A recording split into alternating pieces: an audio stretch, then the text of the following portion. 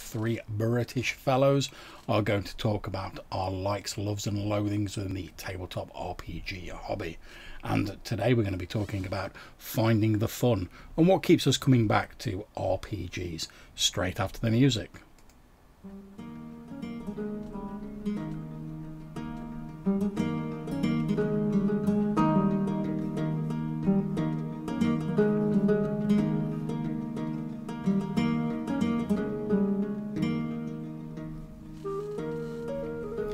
Okay, guys, so we were chatting a bit before we came onto the stream, and we're saying it might be a good idea to just give a sort of a brief rundown of how we got into the hobby in the first place. Just a bit of background. So I don't know if either of you guys wants to go first. Go on. Uh, I'll, I'll I'll break the ice. Mm-hmm. So uh, the way I started, um, as a kid, I used to play with toy soldiers, and for those in the, the UK, remember Airfix uh, HO little packets of um, plastic soldiers and did plastic tanks. And uh, where I lived at the time, uh, we had a model shop, and the only thing they did was uh, plastic models and uh, railway sets. So you could go in there, and they'd have packs and packs of these little plastic soldiers, and that's how I started. Like a kid, throwing marbles and pencils and stuff like that uh, to knock them down. And then in 1977, uh, when I was in WH Smith's, which is a, a, bookseller in the UK, they had a book on wargaming by um, Patrick Stephens. And there were little books uh, and had sections um, on different subjects. And one of them was on World War II wargaming. So that's how I started. Uh, started with World War II wargaming, uh, Napoleonics. And then I'm still not sure how I got into role playing, um, but I seem to remember my cousin, who's a few years older than me, he was away at boarding school and he mentioned something about a game called Dungeons and Dragons. Well, back in those days, you couldn't find it in uh, in shops or anything like that. So um, I think I found out about it from White Dwarf magazine because White Dwarf back in the early sort of uh, 80s did all sorts of stuff. It just didn't do all Games Workshop stuff. And up to, uh, I think it's number 93 they covered all sorts of stuff. So i must have bought basic d&d box set um, mail order because there's no other way i could have got it. Um, and that's how i got into d&d we had a group of about 12 people sat around the table played uh, that and then we moved on to advanced d&d and then um, in when i was 20 i got full-time work. And like many others uh, i left the hobby altogether uh, came back a few years later when I'd moved to a different uh, area where I live now, and I was reading um, War Game Miniature War Games magazine, and someone set, was setting up a gaming club in the area. So three of us met up, set up a gaming club, and there we started back playing war games, and it was like that for a few years. Uh, one of the lads turned up in the late 90s with board games. Um, and it was a very early board game called El Grande, which was like nothing I'd ever played before. It's like a, an area game. There's no dice rolling at all. It's um, very clever game. And we got into got into board games. And um, so my hobby then was wargaming. I had a um, a website which I ran for 17 years, which I posted free wargames rules on there that people could download and link to. And then oh, seven or eight years ago, I just got fed up with wargaming. And I think the problem was that I was running the website for 17 years. I was also uh, an editor of a wargames magazine called The Journal for the Society of 20th Century Wargamers. And that took up about two years of my life with just editing articles, writing articles. And I think I just got fed up with it. And down at my local gaming club, and there were some lads there playing D&D. And I thought, you know what? I think it's about time I had a complete change. Uh, got back into, had played a few games of uh, D and D there, and that was it. I was hooked back on the hobby again, uh, and all my money instead of going for board games and war games was um, back to role playing games. And what surprised me, as I'm sure it did uh, others, was how much the hobby had changed since the 80s when you had D and D, Rune Quest, Tunnels and Trolls, to suddenly there was thousands of games, uh, independent games, little uh, games, uh, and it really was opened my eyes up to how much the uh, hobby had um, exploded, and it, I mean that's like eight nine years ago, and I think the last two three years it's probably doubled or tripled in size again. So that's my origin story, a bit different, but uh, there we go. Yeah, I mean, I think mine's a little bit similar to, to yours, Pete, in that I, uh, I sort of originally was in in the sort of late eighties. I was involved in, you know, like the the Games Workshop war games, you know, like Warhammer Fantasy Battle, and uh, stuff like that. And um, we used to we used to, had a couple of friends who were like really into them. We used to paint up the models and whatever and play play Warhammer. And we went to a few of the tournaments up in Nottingham that they used to do at the Games Workshop headquarters. And um, when we went to it, you used to get points for various different categories that all went towards your overall score. And most of the points are for the game and stuff like that, and how, how well you did in the games and stuff. But you also got points for if you came up with like a slightly sort of off kilter sort of like army list, like a creative army list. And if you sort of like had like a little bit of a background with it and everything, you got like a few, and you only got like a handful of points for those. But we went to a few of these uh, these uh, tournaments, and after a while, I realised that I was enjoying creating the background for the army and like the painting and putting the army together far more than I was enjoying the actual games. And it was about that time when I was sort of mooching around at my local games store, I saw Warhammer Fantasy Roleplay. And so I sat down and I was like flicking through that. And I was like, oh, this seems this seems more my sort of speed. It's more, you know, adventurous. It's more exploring dungeons and it's stuff like that but it's also a background I know because I'm familiar with like the Warhammer background. So I bought a copy of that, and it was the old, um, I think it was the old Hogshead sort of reprint that they did. Bought a copy of that and sort of floated it to my friends. We, we played a few games of it. Easier to get them into it because it was the Warhammer background that we all knew. We played it for a bit, and then we went back to went back to the wargaming. Didn't think much more of it. And obviously, as time went on, you know, people drift apart as they do. And like yourself, I was like, oh, dig out that Warhammer Fantasy Roleplay, see what's going on with that. Went went to a local club, uh, walked into my local games shop, and as you say, there was like a plethora of other games that were available that I'd not been aware of. So I think I bought a copy of like the second edition, like Vampire the Masquerade rulebook, and then there were some people who were running like a, a Mind's Eye Theatre, like live action sort of version of that in the local area. So I went to that for a few years, and then I ended up living with a couple of people who were like role players for a bit, and we were like playing loads of World of Darkness games. And pretty much all through the nineties, like a lot of sort of angsty teens back then, I was playing loads of World of Darkness games. And then after that, I sort of finished, and I was a bit sort of like, oh, you know, I'm a bit bit ready for something else now. But I still like those games, but you know, I've I've sort of done everything I wanted to do with them. Like yourself, I then started looking around for other games, and it was probably only at that sort of point that I actually started looking at D and D just because I'd, I'd already always done Warhammer, I'd done a bit of advanced fighting fantasy, I'd gone straight into World of Darkness, and then I was like, oh, you know, you hear people talking about D and D, and I was like, all right, let's have a look at it. And I had like a couple of old AD&D second edition core books that I'd bought. Looked into that. I wasn't really taken with AD&D myself, and then gradually as time went on and stuff like the OSR games started to become more of a thing. Because obviously you couldn't get hold of like the originals for like print on demand or anything like that then. I sort of started going, oh, well, this seems a bit simpler. It seems a bit more the sort of thing I'm looking for. And I sort of gradually went more in that direction. Although I still like my independent games and the slightly more narrative games. Obviously, I, I did I ran loads of Fate for a while. And then after I'd run that for a bit, I was like, all right, let's try something else. And then I sort of went more into the OSR stuff. And that's pretty much where I am now. You know, I still I still look around and sort of occasionally find a game that I like the look of. Like I've just uh, got my Vaesen Kickstarter books come through, which I'm looking forward to reading through. But yeah, that's pretty much how I got into it. Uh, started off with Warhammer Fantasy Roleplay, sort of segued into other games, uh, and sort of very roundabout way made my way back to D and D. Unlike a lot of people who started with D and D. So, how about yourself then, Colin?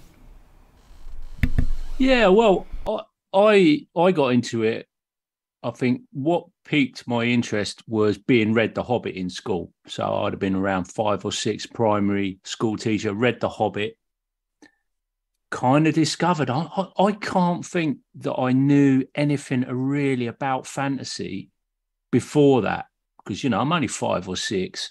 Uh, I, I was drawing, I was doing a lot of drawing. I remember drawing loads of these little stick men, and um, Empire Strikes Back was the first a film I'd seen at a cinema, and I remember drawing like you know the the Hoth troopers in the Rebel Hoth troopers. I, I was drawing these little stick men with little flat caps and the uh, backpacks with a little uh, radio aerial thing sticking out the top, and and they would fight these aliens that were basically red stick men with a blue bobble head, and they used to do them as like these. Uh, sort of like a side scrolling game and sit there and do all the sound effects um, kind of like choo, choo, choo, as as you're drawing it kind of thing. And and the story would just move across the page and then you go down to the next level and it would carry on. And then you more or less came up with a big bad at the end. So i feel like i was almost role playing before i knew what role playing was just just through play like naturally like a kid. We'd go out in the playground and we'd be we used to go form a big line with our hand on each other's shoulders going going around going who wants to play? Oh me. Who um, we go around and then you get like a long row of you and once you decided you got enough then you'd like split in the middle and oh well, you, are the germans we're the british and then then you'd have loads of arguments about who who had been shot and got killed or who was going to be han solo and you know uh, because you you had your eye on emma in the other class who was going to be princess leia or you know and there was all that sort of thing and so it was kind of like this role playing thing going on and and then um I, I think perhaps my teacher picked up on that, and she was friends with my mum. Uh, and she ran a game for us, and it was uh, Moldvay Basic. Um, and the only reason I knew that because, of course, none of us bothered to read who was writing these books at the time. You just remember the front cover. And um, I remember distinctly the first adventure was as scary as hell. And the teacher had just basically reskinned the school where we went to school and turned it into uh, an adventure and, and, and populated it with like spooky undead and stuff like that in in place of pupils and teachers uh, so that was my baptism my my introduction to d&d and i think we played that f- every week f- for ages up until uh, I moved into infant school so it, it, no junior school it goes doesn't it yeah so went into junior school and then it was more, I got into the fighting fantasy books. Didn't see so much of the teacher, but we remained friends. And I started kind of gaming with her son a little bit more. Um, but for whatever reason, we didn't play so much D&D, but kind of fighting fantasy filled the space. My first book being The Forest of Doom, got really into that. I saw the other books come out. My mate picked up um, uh, Warlock of Firetop Mountain, and I distinctly remember him picking up Citadel of Chaos. It, I always thought it had a bit of a bit of a rubbishy cover that one, um, but uh, as a kid, I was intrigued by it. What you know, why did that cover not look so great as the other two? And I just remember that being a thing because even then, you know, I was in, I was into my art and stuff. Um, and then got a little bit older and was encouraged by another teacher at this point that saw the the benefit to our literacy and numeracy from like studying and reading these books and you know is encouraged up into second school uh, secondary school and it was during this time of fighting fantasy in the junior school uh, and around about when I was moving into secondary school so we were about 11 uh, I'd I'd kind of got a better idea of where these books came from and went to a place called the Guard Room in Dunstable in England. And it was one of these, it was um it was done up in a little bit of a mock Tudor kind of style, the, the facade, but it was a tiny little shop, you know, it was smaller probably than your average kind of bedroom. I, I, I doubt if it was I doubt if it was 10 foot square, this shop. It's a sort of like an old, real kind of low ceiling, tiny little shop. Um, but once I went in there, there was basically two places you could get your stuff. You either went to Taylor and McKenna, which was uh, what became Beatties later on in the UK, or you went to the you went to the guard room, and the guard room was where I started to see miniatures. I picked up my first Citadel miniature. It was a cleric. Picked up a cleric, a dark elf, uh, and a, and a fighter. So they were doing like RPG miniatures, and I think they were like twenty pence each in lead. They might have been fifteen p, and I remember I remember how scandalous it was when they went up to like thirty pence. um, and that's where I discovered the likes of um, Dragon magazine, Dungeon magazine, the, the imports that were coming in from the states, and you started to see the AD&D books appeared. And um, my teacher, she picked up the AD&D books, and we kind of did this weird crossover thing where we were kind of playing two games. Um, and uh, I don't think we ever really sorted that out, even even to the point that a friend of mine bought in the old um, oh the what's the D and D basic with a blue, the light blue box? I can't think of the name of it now. It's totally gone out of my head. But we it, and it only went in the expert rules, yeah. No, no, not them ones. before um, before Moldvay. Oh yeah, the, yeah. The, the, the, blue box, yeah. Yeah, I've got, I've got Holmes, Holmes. Yeah, uh, uh, and I was like looking at that, and it was mentioning AD and D, and then you had, and it was quite a muddle because, of course, you know they're they're imports, and it's quite new. And Games Workshop at the time was only one shop, and that was down in Hammersmith or wherever. I think it was the Hammersmith one. Um, so yeah, kind of like muddled, muddled through secondary school, and I remember um, picking up Mentzer Basic and getting the expert. And once I got the expert, I hardly ever we we didn't go much into the basic. We kind of sort of play, played a lot of stuff out of the expert, and we were fascinated by the Isle of Dread and the wilderness travel. And we didn't do we really didn't do so much in the way of dungeoneering, as it were. Um, and I remember us getting right into things like the Wilderness Survival Guide much later, and the the Dungeoneer Survival Guide and getting into all this crazy subterranean map making and and then of course you come across all the different systems that were coming out and uh, you know we played things like Toon and Teenage Mutant Ninja Turtles and Twilight 2000 and uh, Top Secret SI. I, in fact, I don't know how we found the time. We was playing Golden uh, Golden Heroes, Champions, um, loads loads of these like classic games. And sprinkling in with that was a bits of um, the board games that games workshop were coming out. So they were coming out with like the Judge Dredd board game and a role-playing game. They were coming out with um, things like kings and things warrior knights talisman. So talisman was a massive thing for us and my family. That got us into the whole kind of board gaming thing uh, and I don't think my I don't once once my brother had played Talisman, he really got into board games, and I think that that's kind of like carried him through more or less till today. Um, and I say role playing wise, probably when I got about college age, I didn't I ran out of people to play with. Went to university, didn't get in a group down there, and when I came home, we were just playing um, more war games and getting into war gaming American Civil War stuff, World War II war games, um, Full Thrust. We used to play Full Thrust with spaceships, and I liked that because I'd made the spaceships. We used to scratch build all the spaceships.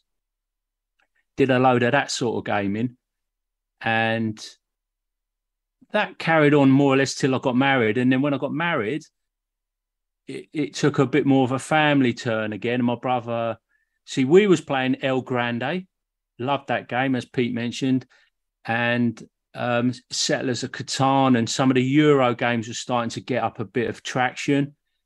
Um, and I was on and off doing other things, working, and then eventually, what really got me back into the gaming was Ticket to Ride and um, Pirates Cove, both Days of Wonder. That led on to Memoir, and then we were playing games. And I think my son and my brother hatched up the idea to get me the 5e starter set when that came out. And I looked at that and I thought, oh, this actually looks like I could run this without too much trouble. And we've been trying to play Descent and other games to replace because I was trying to get that that RPG hit again. So imagining in my mind that it was, oh yeah, I remember thinking, oh, that took ages and all that. But actually, when I looked at the 5e rules, it was quite streamlined and I just got back into it through there. And I guess what was that probably? T-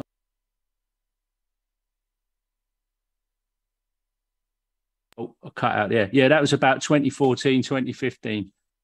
Um, got back in with 5e uh, quite heavily at that point. Yeah, looking back at you know how we all started, uh, the one thing that um, sort of uh, comes to my mind is back in those days, you bought the books and you had no idea how to play. You read it and there was no instructions. Uh, you couldn't go on a website or go on YouTube and see, well, how does this work? You looked at anything. Well, I think it works this way, and I'm sure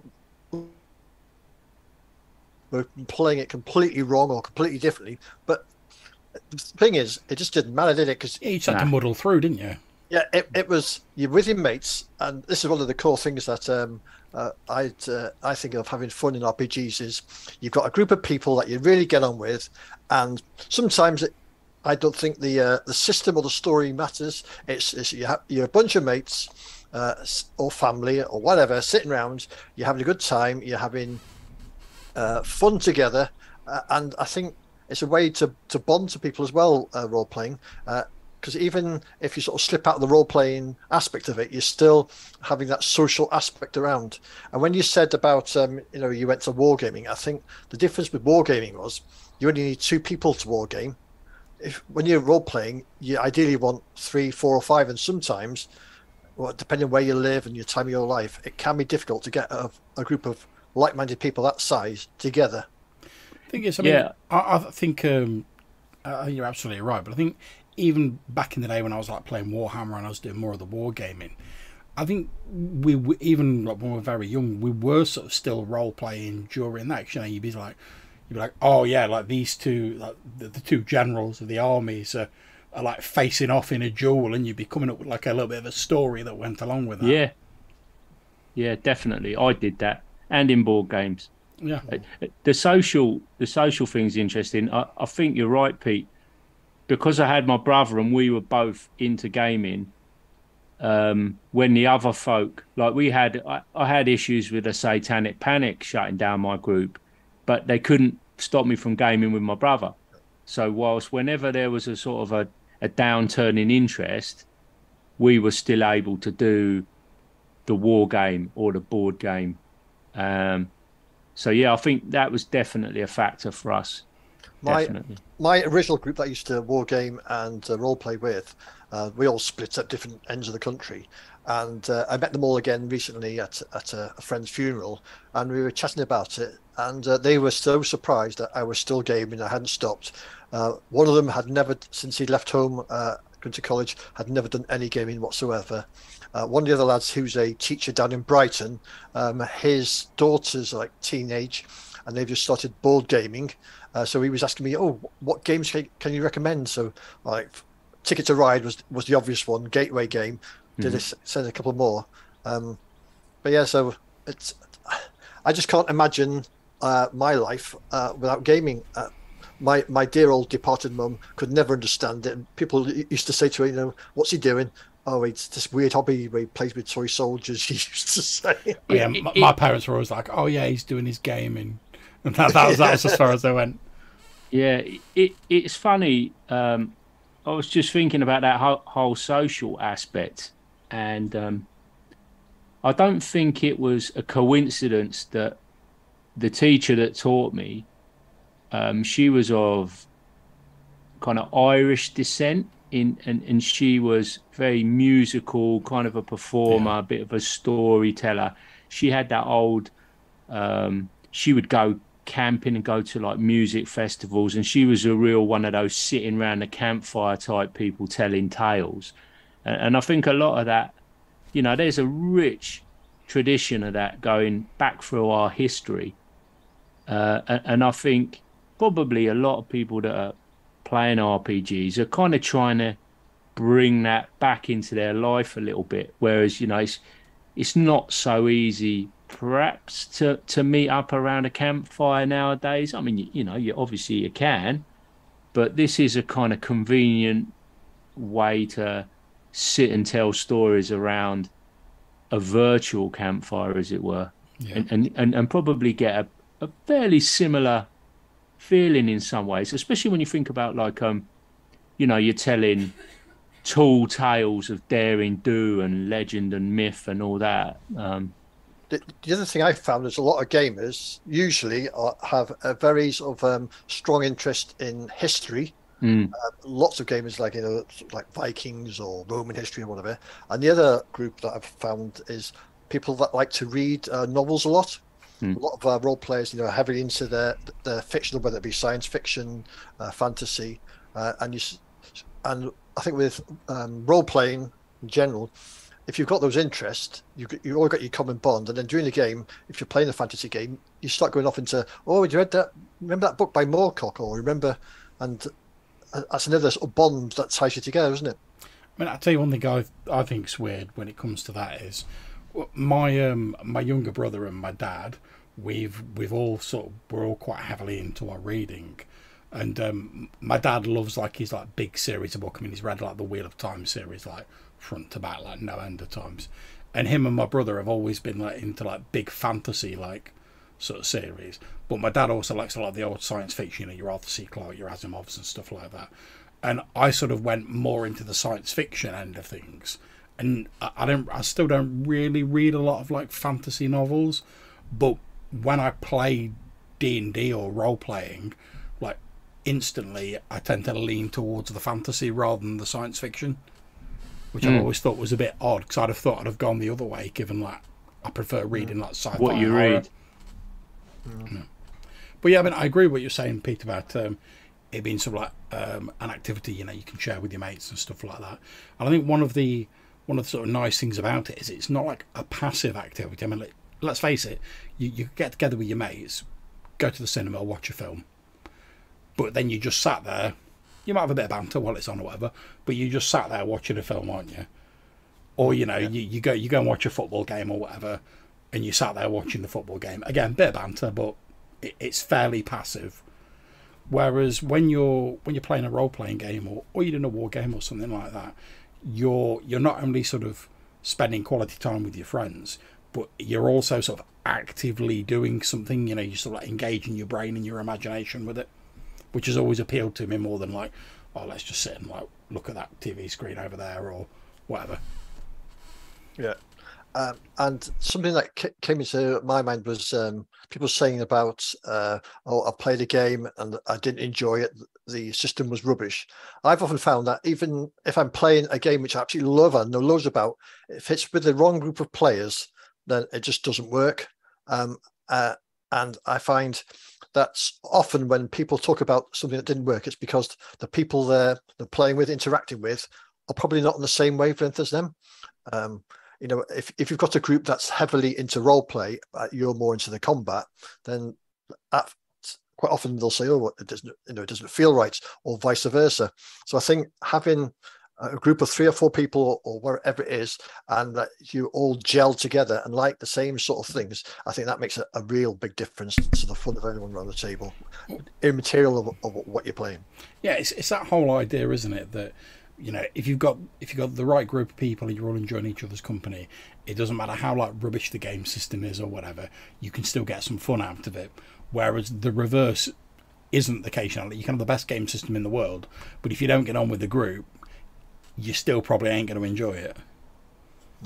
Yeah, definitely. And I, I hear you know you hear descriptions of other people's games, or you you maybe catch a live play or uh, something like that, or you know some sort of stream game, and and, and you think, ah, yeah, I just don't that that does doesn't capture my imagination, or I, I don't really fancy that, or or, or maybe you, you hear um, see, see, quite often on the uh, like on the uh, on the podcast scene, you, you hear people, and it's quite often this sort of discussion about uh, play acting and role playing your character, and then not not role playing your character, and just like being yourself and stuff like that.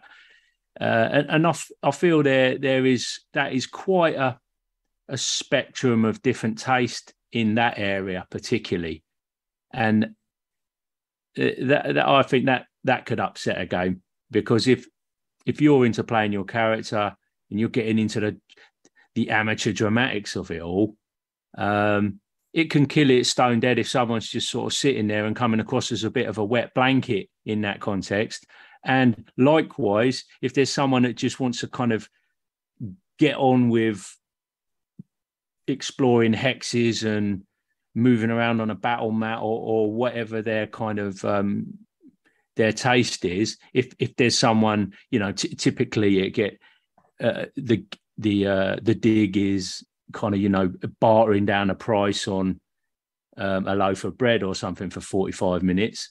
Um, that's going to rub somebody wrong the other way. And I guess ideally you you, you get into a group that just fo- meets the happy medium where you're all you're all sort of happy. But I, I think that is that is pretty rare. You, you're gonna, I think, in a, in a group, especially when you were saying like Pete, you maybe maybe there's five players. I think there's always going to be a little undercurrent of, oh, you know, oh, he's off again, or are we going to get on with it? It's ne- it's never going to be super perfect, but you're just trying to avoid them big clashes, aren't you? Yeah. I do think that's one of the things that I sort obviously I know during the episode we're going to talk a bit about you know what keeps us coming back to the gaming table. I do think that's one of the things that does keep me coming back to the gaming table because there's there's almost as many different sort of ideas about what role playing is and what a good game is as there are role players, probably more. And no matter what sort of taste you've got in gaming, what you like in gaming, there are there are at least going to be a handful of other people out there who've got similar tastes to yourself or like the same games that you like. And yeah, okay, it can be difficult to find people. You're going to have like false starts. You're going to have groups where you maybe don't get on with the group and stuff like that. And it might take you a long time. But I like the fact that if you keep looking, eventually you will find some people who, yeah, okay, their their sort of style of gaming might not be hundred percent what you like, but it's enough mm. like what yeah. you like that you can it's still workable. enjoy yourself. Yeah. Yeah. Yeah, and uh, one of the things I found is if you can find um, an online game to play, for example, um, that somebody's advertising and you're not sure, my advice is go for it, give it a go. If it doesn't work out, there's nothing lost. But if you don't do it and you miss out, then you're going to regret it. And I know it's sort of in the audio dungeon discord at one point before pandemic, we had there was lots of games uh, going on, and I jumped into several games there, which weren't my probably my cup of tea. But you just get to meet people, and then I think you learn so much about different styles of play, uh, meeting different people, and it sort of helps you with your um, with your own uh, characters. And your characteristics of adapting to other play styles as well. Mm.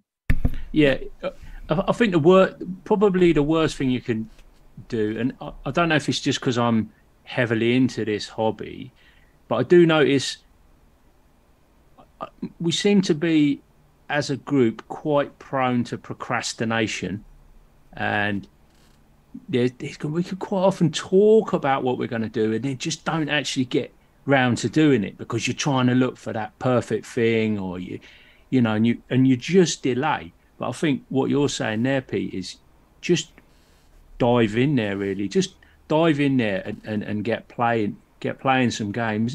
And if it if it don't work out as as long as you're not just being nasty to people, they're going to understand if if it hasn't quite worked out. And you know, I, I don't imagine people are going to hold a grudge against you because you've you've said, "Oh, yeah, I was maybe looking for something a little bit different to what we're doing." It's just having that chat, isn't it, and yeah, being definitely. open about it.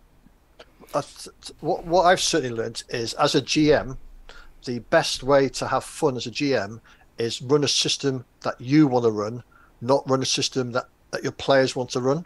Uh, it might be that you, you meet and uh, you both want to run it, but I've run games where my players have said, "Oh, yeah, let's let's do this," and I'm like, mm, "Well, I'll give it a shot." But it's gone for so far, and I just get to the point where I'm not enjoying it. If I'm not enjoying it, I'm, I'm I, I just can't continue. Uh, but if I get a game where I absolutely love, um, then that for me gives me the fun, gives me the inclinations to prep for it probably maybe over prep because I'm enjoying it so much, getting embroiled in the lore or the system. And I, I think that was my biggest tip uh, as a GM: is run something that you that really interests you, uh, that you know how to run, because um, that that will make every at least every session you're doing something you enjoy, as opposed to I'm running this game for these guys, but it's not my cup of tea. Yeah, I think you make a good point there, Pete. I mean, like I said, as we were chatting just before we came on, I'm currently looking to like start a small sort of mini campaign after my previous ones wrapped up. And when I was talking to my group about what we wanted to play, I basically gave them a choice of like three or four games, saying like, "Oh, do any of these appeal?" But I made sure that I picked three or four games that I was actually interested in running because I say like I could have easily suggested like dozens, but if I suggest something that I don't really fancy running, and they were like, "Oh yeah, we'd really like to play this," but my heart's not in it, I'm not going to have fun. They're not going to get a good game out of it, and no one's going to be happy at the end of the day. You you've got to be inspired, haven't you? Yeah, of course. Yeah. I mean, one of the one of the big things for me about RPGs it, is it uh, its place as a creative outlet. Yeah. I mean, and that that's massive for me. Like I said, I came in. I I think I came in with the artwork and the painting, uh, imagining characters in my head, imagining these kind of like worlds with aliens battling, um, basically Hoth rebels. Um, and it's it's not changed. I've just done different things. Like it's become a podcast or done YouTube videos, and it's just like a vehicle for for doing all of that that stuff. Now, if you get into a game like you guys are saying that you you're not interested in running, that's going to kind of like kill your your. You, you can become a little bit resentful of a game. I think if yeah. if you if you're getting brought to the table and out of a sense of loyalty to your to your group or a sense of responsibility, you just keep turning up and running these games. Um, I think that's that's probably where some of this burnout yeah. comes from. A little bit of uh, because you're battling with it in, in, your mind. You're not settled, and, and there's and friction. The, and at the same time, you're a player too. You might be running the game, but you want to play as well, don't you? Yeah. Well, it's one of the reasons why I always laugh. You know, in that that inevitable debate when people are talking about like, oh, whether professional GM should be a thing. I think I'm, I'm, I'm, if if someone can run a game that people are willing to pay for, I have no problem with that. You know, fill your boots, good for you. But yeah, yeah. for me, I always think I'm not. I'm not sure if that'd suit me because I, I, I think once it became work hmm. rather than something I do as like a release from, from work. yeah, to get away from work and as like you say, a creative yeah. outlet, as Colin was saying. I think you know you almost then become and I, I see this a lot with people who like don't like the systems or they're not keen on the game. It because you feel obligated to run the game. You're not running it because you enjoy it. You're like, oh, I'm turning up because I've got to turn up to arrange the session tonight, and you know people will be disappointed if I don't. And you sort of it, it's it's all the sort of negative things that are pushing you into running a game rather than going like, oh, I really love this like system.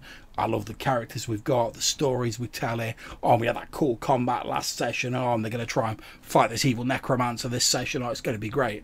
Whereas I would rather have that than thinking like, oh, you know, like this is my job, or like I feel obligated to like do this. I'd rather be doing it. And I, have quite happily admitted that I'm sometimes guilty of over prepping, but that's because I get really enthusiastic and I'm like, oh yeah, yeah. I, I want to draw all these maps and I want to I want to draw out this cave system and uh, I, I want to like work out what like the bad guy's speech is going to be at the end when he confronts the heroes and whatever. And even if you don't use it, you've enjoyed yourself while, while yeah. doing the prep. And it's, it's one of the reasons I like the. Um, I like the lazy GM, like the Sly Flourish books, because yeah. they, they don't say like, "Oh, don't do any prep." They're always just saying like, "Right, do as much prep as you need to feel comfortable running the game, and focus on the prep that adds more value yeah. to your game, rather than just because I've seen a lot of books where they've been like, "Oh, you don't need any prep," and I'm like, "Well, I don't need the prep, but I quite like doing the prep." Whereas mm, yeah. a, a, book like um, Lazy GM, where it's sort of saying, "Oh, yeah, you want to do your prep, but like you've only got four hours or whatever to prep for your session. Here's how you can focus that prep to make sure you're getting the most sort of bang for your book when you're doing it." Yeah, I had, uh, I had a session yesterday. Uh, we do uh, every other week with uh, with my home group. So I run one Tuesday, and another GM runs the other Tuesday. Anyway, last yesterday, about must be about two hours before the game, the other GM said, "Look, something's come up. I can't do it." So all the other players said, "Can you run something tonight?" I said, "All right, yeah, I'll, I'll run something." Started the session. It got halfway through the session, and I'd run out of things. So I said, "Can we take a Can we take a tea break? Give us five minutes." We had the tea break. I went in, made a coffee, got, got some books out, and then got the second session prepped. And then it turned out we had a, a great session. Um, and the lad said, "Well, you did well with that." I said, you wouldn't believe I had nothing prepped before we started. Hmm. But yeah, sometimes you just need that extra little oomph to get you going.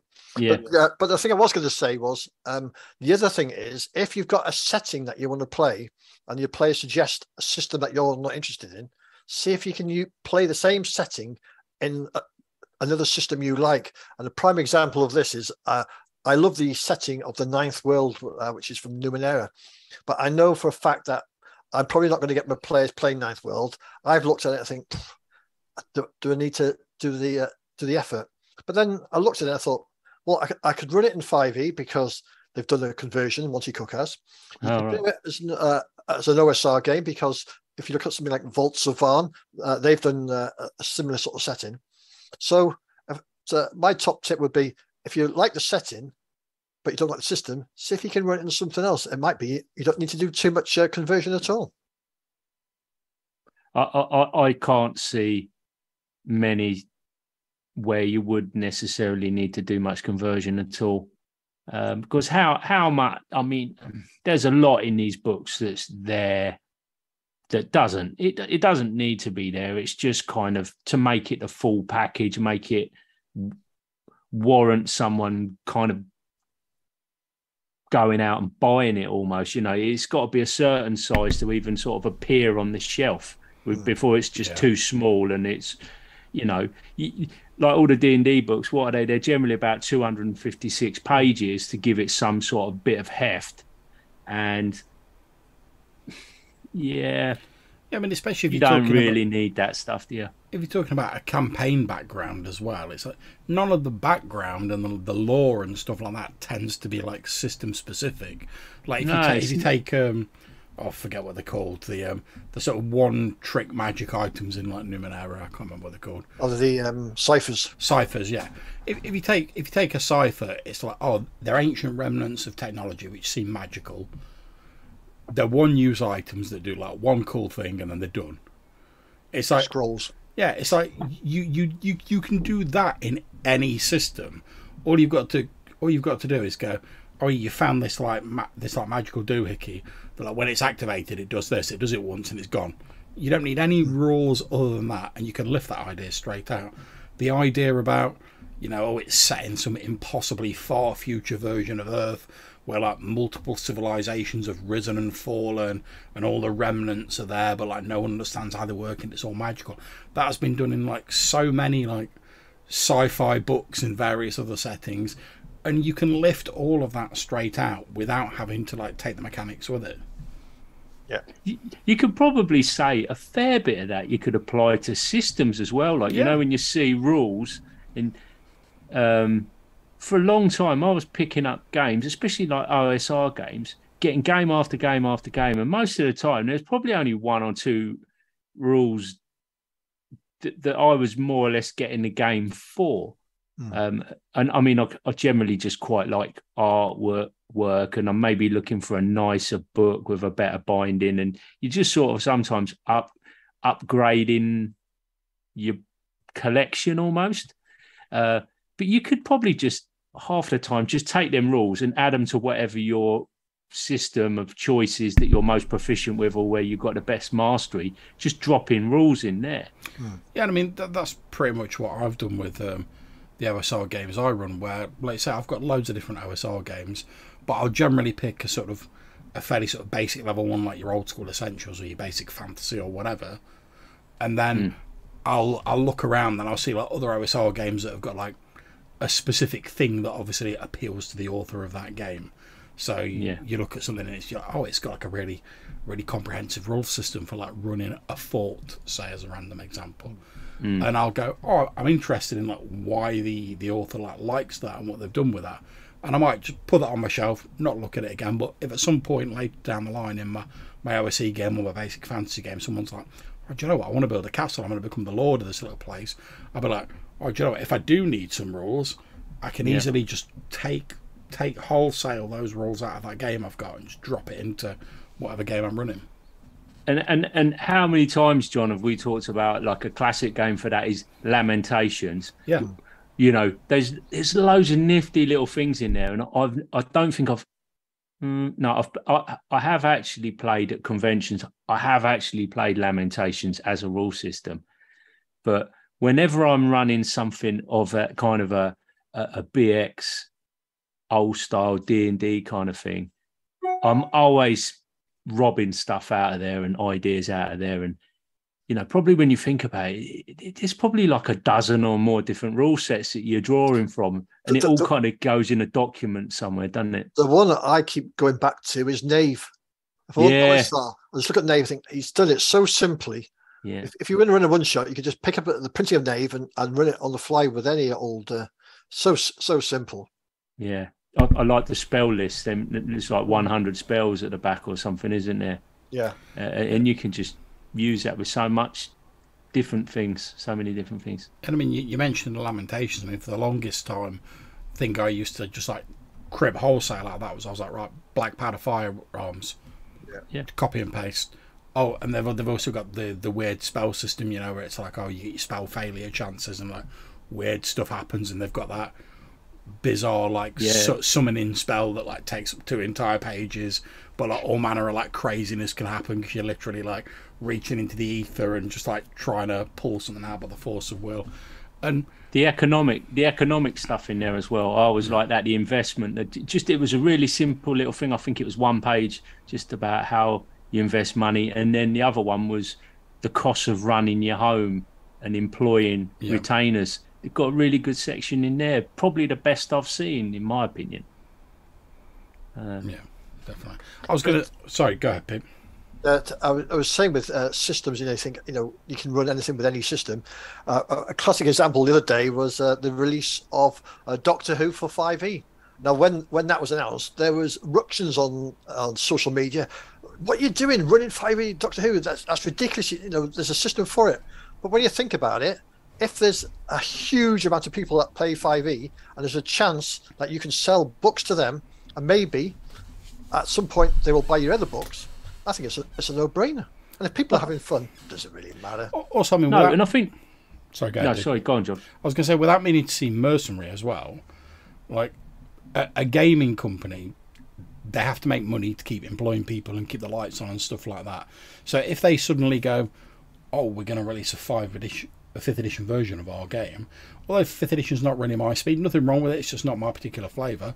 But if they say we're going to release a fifth edition version of our game, they must think they're going to sell that book. Otherwise, they wouldn't release it because they well, need to make money. Paizo admitted because uh, Paizo released some of their um, stuff for 5e recently, and there was a big kickback from the Pathfinder community.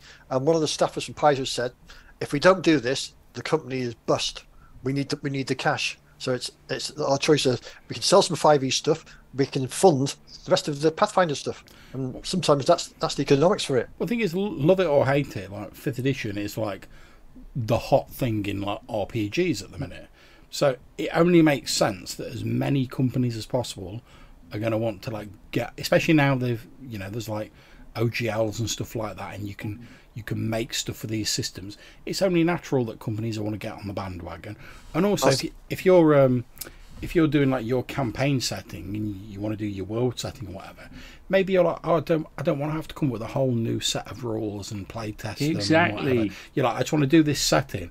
What's a nice simple rule system that I already know there's an established audience for, that I can just put my campaign setting out with, and sell it to people and get it out there to people. And I, I think Cubicle Seven said that the that when they had the One Ring and Adventures in Middle Earth, Adventures in Middle Earth outsold the One Ring ten to one. No, yeah, and I, and I, was surprised that I thought, oh, the, the One Ring was the bigger product, but no. I see. I really liked the One Ring. I, I thought it captured the feel of yeah, Tolkien oh, yeah, really absolutely. well. Um, plenty of people have talked about that. In particular, Arlen Walker, live from Pelham's Waste. Check him out on YouTube. He is all about that One Ring for Tolkien, but I just want to do a bit of adventuring in Middle Earth. I'm super familiar with 5e. That's my best chance of getting it to the table because otherwise, the way things are for me, that's just going to be too much of a steep learning curve. Likewise, oh, Doctor Who, yeah, try a bit of Doctor Who in my 5e game. I haven't got to try and convince all my players that are quite happy with 5e. Whenever I stray away from 5e, unfortunately, it is a little bit of a battle for me to convince people. Because hmm. guess what? They don't want to do the work. They don't want to have to go and find out a new system. If they if they're like got a limited amount of time for the hobby. And and let's face it, if you do do a new system, they ain't going to read the rules. And when it comes to the table, they're going to be say, "So, Mr. GM or Mrs. GM, uh, what do we do? Oh, tell me what to do now. Oh, what does this do? What does that do?" Yeah, so you, don't need it. You don't need it, do you? So I, I, I get it, and I also find it quite interesting to have a system and see how different designers and different creators change it up a little bit to create that. I just find from a design yeah. point of view, I find that quite interesting. Like the way they change things to do Beowulf to make it like a one hero with like a kind of uh, people tagging along. I forget what they're called, and the way they the whole Beowulf design with with, with the core 5e is, is really really I think quite interesting. Pete, you've played Adventures in Middle Earth. I think they did. Still playing inter- it. 45 yeah, sessions in now. Love it. Yeah. 45 sessions in. And I think they did really interesting changes with that. Like, you know, um, I talk about not playing it, playing the game, basically playing D and D without the alignment, and a lot of people are like, "Oh, well, mm, I don't know about that." You know, you you do you kind of thing. But Adventures in Middle Earth, that's where I got that idea from. You're 45 sessions in. Do you miss alignment? Nope. Nope. And I don't use I don't use alignment in a normal I, I find. Um, the other thing I find fascinating with 5e is the number of people that are trying to OSR uh, OSRify it by sort of cutting stuff out and making it more like old school games. Um, and that, I mean, I don't know if you've seen that um, uh, Dungeon Craft. He's just done put his Deathbringer out, which is yeah, basically yeah. taking 5e and making it more like um, an OSR game in where the death is on the table all the time and simplifying it.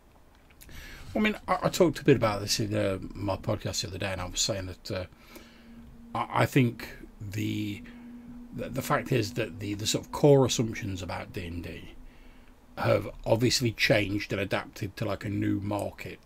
So like the the the core assumptions of fifth edition are very different to the core assumptions of like Moldvay, like Begmir or something like that.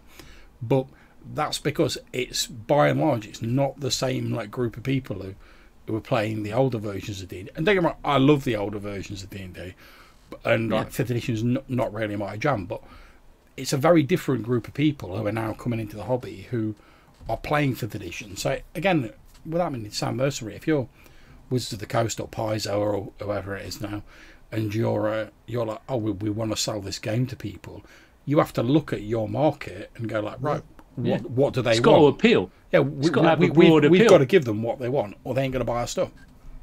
Yeah, yeah, you know, th- things like uh, fairy tale uh, PCs don't appeal to me, but they appeal to a lot of people. So that's why that's where it's been made. Yeah, yeah, uh, uh, and I'm an old man, so every time they go like, "Oh, there's a there's a new race coming out, and it's like purple cat people or whatever," and I see it on Facebook, I'm like, "Oh, come on, have a word with yourself." But they wouldn't be bringing that out unless people wanted to play it. So. And like I said, like I said in my um, my podcast episode recently, I've accepted the fact that like the the sort of core version of like fifth edition as it is now isn't really made for me. But that's where, as Colin was saying, we've got Adventures in Middle Earth, numerous other third party things using like the fifth edition chassis. And like I said, I've got Adventures in Middle Earth, and even if I don't run fifth edition, as we said, there's a lot of stuff you can just take out. There. Like, I love the journey, yeah. I love the journey rolls in Adventures in Middle Earth. I could take that mm-hmm. and put that in any D and D game. Yeah, you can put that in any OSR game. That uh, yeah, grab from it. But um, uh, I think that's another thing that keeps me coming back to the game. You know, yeah, it, it's probably a good a good chunk of us are into that tweaking and tinkering type of thing. And I think that's probably just another type of creativity, isn't it? It's like looking for that mashup, taking this rule. You know, how how many of us must have spent money on games just knowing that you're not going to run the game, you're just going to mash that in with something else. Um, I, I, I mean, I've done it in, in, the Middle Earth game. Is if if there's a rule that I don't think's working, I'll I'll change it up. My players often, quite often don't even know I've changed it because I'm rolling off screen or I'm making the decisions off screen. But I think as as a GM, you're always trying to sort of get that. You're aiming for that perfect experience on you, the one that make that you enjoy, but also that sort of runs seamlessly. I I was going to say, I don't know if you guys are familiar with the um, the Man of La Mancha, Don Quixote, but um, there's, a, and I promise this will get back round to RPGs in a bit. But it, but it, it's it's basically like, very roughly the story is like there's an old boy who like gets fed up with like his life, and he's like, oh, everything's like rubbish, and he suddenly goes, do you know what? Forget this. I'm going to be like one of the old knights of legend. And he gets himself like some armor, gets himself like a knackered old horse, gets himself a lance. And it, obviously, he, he sort of lost his marbles a bit, but he goes out and he's going to become a knight. And he talks to, he sort of gets his neighbour involved as like a squire, and he goes out and has all these crazy adventures. But there's a bit of that where he talks about what he calls like um, the impossible quest, where he's like, oh, it's not important, you know, if he reaches the end of his quest, it's the fact he's trying to get there that's important. And one of the things I, I like about role playing games that brings me back to it is, as we were saying earlier, there's people like always chasing like the perfect system. But I wonder how many people who've been chasing that perfect system that they're never going to find, but No. through chasing it, how many people who've come up with their own systems, made their own games, and made new like great products that people love as a result of sort of chasing that dream that they're never going to get. And I like the fact there's always people sort of going like, uh, oh yeah, okay, the, this system doesn't really work for me. Let's see if I can make it. Oh no, it's, it's not really work. Right, I'm going to chase the next perfect sort of system. And even if they never get there, a lot of the stuff they produce along the way is very interesting. And it might not be the perfect system for them, but it might work great for somebody else.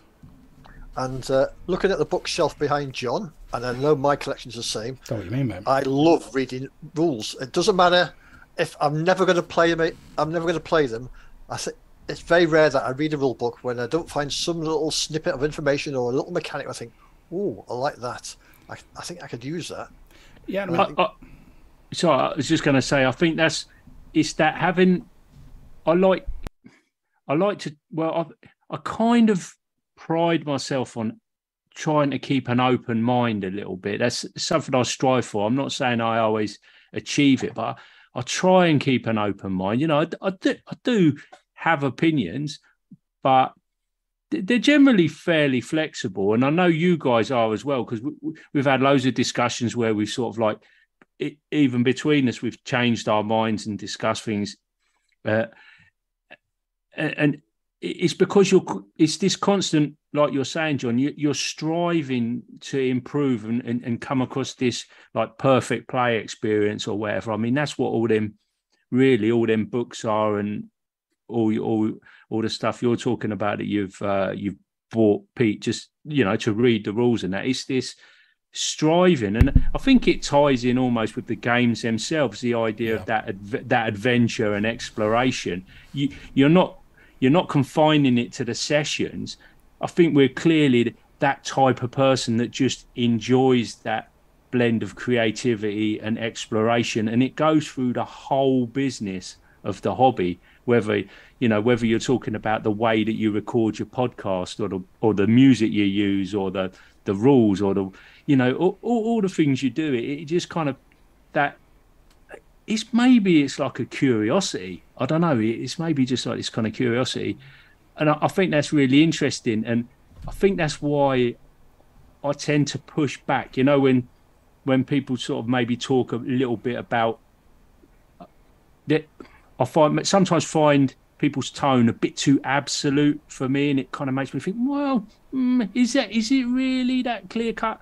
And i sort of push i tend to push back against it because i feel like you don't want to shut the door on stuff and lock it you know? You want to kind of maybe uh, maybe you don't want to look that way for a little bit but you maybe don't want to close the door, door and lock it and just say no that's that's not it- the way.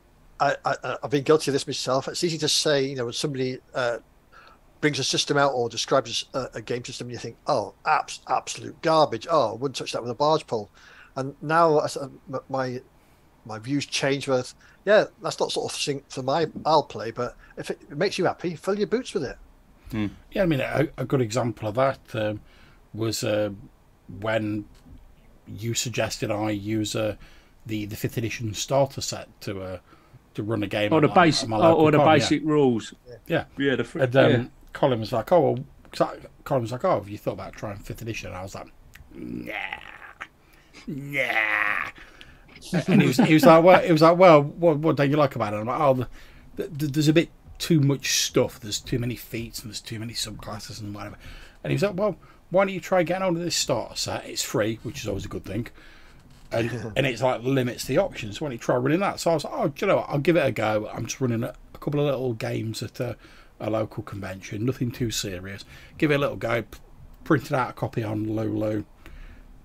Ran absolutely fine. Thoroughly enjoyed it.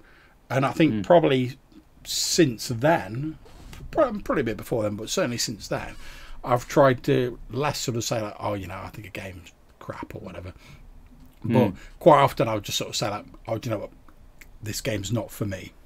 Yeah, mm. it's not. It's not for me. No, because mm. I say normal, normal fifth edition.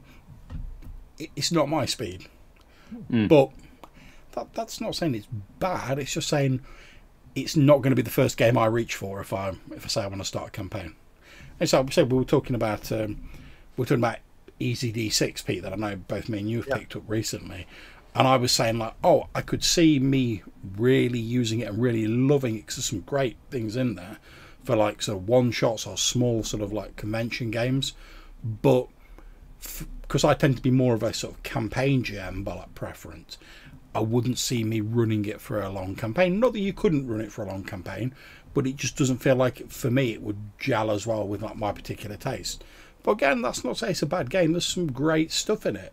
And even if I never run it as it's planned, some of the ideas out of that I might sort of copy and paste into other games. Yeah. Yeah. Yeah, definitely.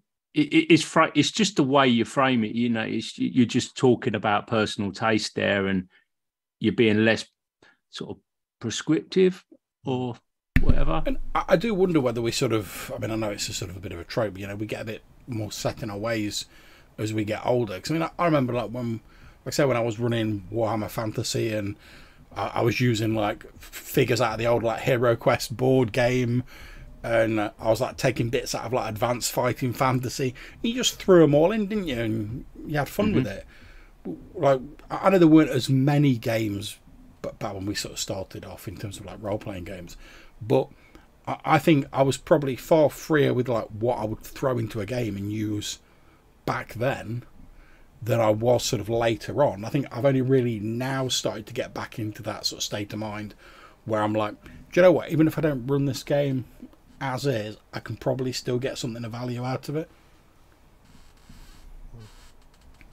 Yeah, I think so. I think like as a youngster, anything would go then as I got into being a teenager now, I was a lot more of a stickler about things. And I remember trying to get my players, you know, to insisting that they would write a background and, you know, just kind of like really. Um, a six page background that, that no one's ever going to read. yeah, and you've got to do this and you've got to do training and you've got to do the other. And then I've just sort of, I feel like I've probably gone full circle now. And I quite like, this. so there's been a little bit more talk recently about wargaming and the idea of just getting like a box of kids toys and figures and just like tipping it out on a table and just getting a few dinosaurs and Buzz Lightyear and Green Army Men and whatever is in there and just kind of some Lego and just make up this weird battle. And then the challenge would be how to make it work and you know how do we do this? And yeah maybe you use the you know what you see is what you get kind of concept and um just doing something like really spontaneous and fun, the type of thing that you could probably, you know, for me now, that could be something you could take into a classroom and just go like, here's a box of stuff, turn it out, and as part of a design lesson, it's getting them thinking, uh, you know, using that as a, a, a tool to inspire people to come up with some creative thought and just go, oh yeah, what about this guy, and just get everybody talking and moving stuff around and handling things and. Um, that that type of thing interests interests me interests me now more than you know sticking rigidly to some yeah. kind of real big old rule book or something. Yeah, I, I saw an interesting one on I think it was on Reddit the other day where someone it was brand new to uh, role playing, wanted to play with some mates, and I, I can't remember if it, if it was Vampire or D and D, but said, um, I've had a look at the book. Oh, there's so much stuff in there I need to learn. You know about the lore and about the history and all that. Uh, it's overwhelming, and several people came back and said, "No, no, that's the wrong way to think about it. Yeah, you, you start off with you know the the house they live in or the village they live in, and that's and ask them you know uh, a couple of things that they know around and start at that and build.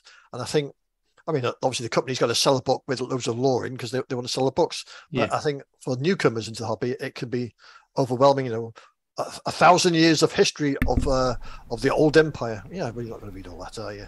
I mean, I do. I, I, I do sorry, go ahead. Go on, John. I was, no, gonna, no, I was going to say, I do wonder whether sort of like starting off a bit earlier, we, we sort of had a, a, bit of an advantage in that regard because obviously there there weren't that many books about, so you didn't have much choice. Like you either stuck to just what was in the book, which you you pretty soon ran through, and you were like, right, I've, I've done all that, and then you had no choice but to like make just make stuff up or like grab it from like what few other books you could find.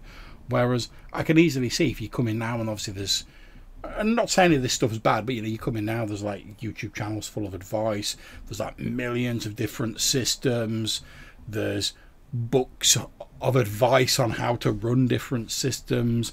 There's all this lore. I could see how like, if you came in now from with no prior knowledge and you were just sort of like dropped into the middle of the tabletop sort of RPG sphere, how it could be a little bit overwhelming if you know if you didn't have anyone else you could like speak to. But on the flip side, it's also a great resource, and as you were saying, there's a there's no end of people. I mean, obviously there's going to be like idiots, but there isn't like every sort of like walk of life. But there's because we've got like the internet now and stuff like that. There's no there's no like oh I don't know anyone who role plays. I've, I've just got to like guess myself, which great in some ways, but you can now just like reach out on like social media or whatever, and there will be hundreds of people who can answer any question you might have about tabletop RPGs. It is a massive game changer. The whole internet. When you think uh, that that has just turned the hobby upside down in terms of our what our early play experience was yeah to now what you can do it, it's it's a different I, I, world. It's a different I, world. I sometimes sit there in a game and I think, right, I'm sitting here in the UK. I'm playing with people from Canada, Germany, uh, this is bonkers. This is yeah. absolute bonkers. And it's live chat, uh, no delays. It's like sometimes you think, ah, oh, no. it's it's know, like we're living in the ninth when, world, mate. Yeah. uh, can you imagine it if you if you you didn't even you didn't dream of it, did you? As yeah. Kids, if someone had said to you, and it's not a, it's not really that long ago. Say it's thirty years ish. Um, you you just couldn't imagine it, could you? Like carrying a, like your mobile phone. I mean, I was sitting playing with um, TJ and a load of people off the audio dungeon.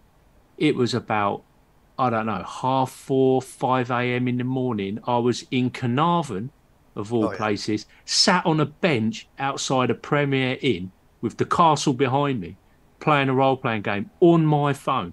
Yeah. Just what? Well, like you say, if, if if when I'd got like my first like crappy like computer, you just said like, oh, one day you you're literally going to be able to run games and communicate with like people on the other side of the world with like no delays, no real issues, and you'll just be there'll be all these programs you can use like virtual tabletops and all these note taking programs and stuff like that. I'd have laughed at you, mm. to be honest. Mm. Yeah. Oh, uh, going off the topic uh, slightly, what do you think about uh, DriveThru and uh, Roll Twenty merging? I, I, sort of, to be honest, I sort of thought it was bound to happen eventually. Because I mean, DriveThru's pretty much sort of got the monopoly on on mm. sort of selling like RPGs. If you're if you're investing in the two platforms, it's fantastic. I do I, I, do wonder how it's going to affect some of the smaller publishers that maybe at the moment sell to Fantasy Grounds, maybe sold to Foundry. You know, is it going to get to some point where they say, no, "I'm sorry, you can only sell your stuff on Roll 20 Well, I, well, I don't know about that, but I know there, um, I know there's official old school essentials support for Foundry coming soon. Yeah, yeah. So, Um, I mean, I think I as, mean- as long as there are, I mean, things do remember VTTs like Roll Twenties like long established, but Hmm. especially recently, there's there's like a plethora of other options out there, and some of them will some of them will go under or they they won't last the long term. But I think Hmm. enough of them are sort of sticking around. Like you said, we've got we've got Fantasy Grounds, got Roll Twenty, got Foundry, um, Owlbear. I know that's changing into like a new version soon, but you know it's still going to be there. But um, Runehammer's VTT. Exactly, yeah. There's enough of them that'll stick around that like there's not like a VTT monopoly. Whereas for for DriveThru in terms of like selling RPG PDFs, there's not really any competitors for like DriveThru. So f- so for me, if you're like a VTT and you're like, I want some ODAT uh, PDF support, they seem to be the natural people to go to because they, they've pretty much got that market sewn up at the minute. I mean, don't get I, I think some sort of level of competition for DriveThru would be healthy. So I see like competition's good to like keep costs I down. know, I know like a, that, a few have tried Itch, and I got stuff on Itch, what have you. Um, and yes, you can still suffer there, but I mean, it's nowhere near these of the uh, accessibility of DriveThru. And I know people have got stuff on both platforms saying, "Yeah, you know, DriveThru just blows it out of the water." If you're known, especially, you know, if you've got a name for yourself, then DriveThru is a place.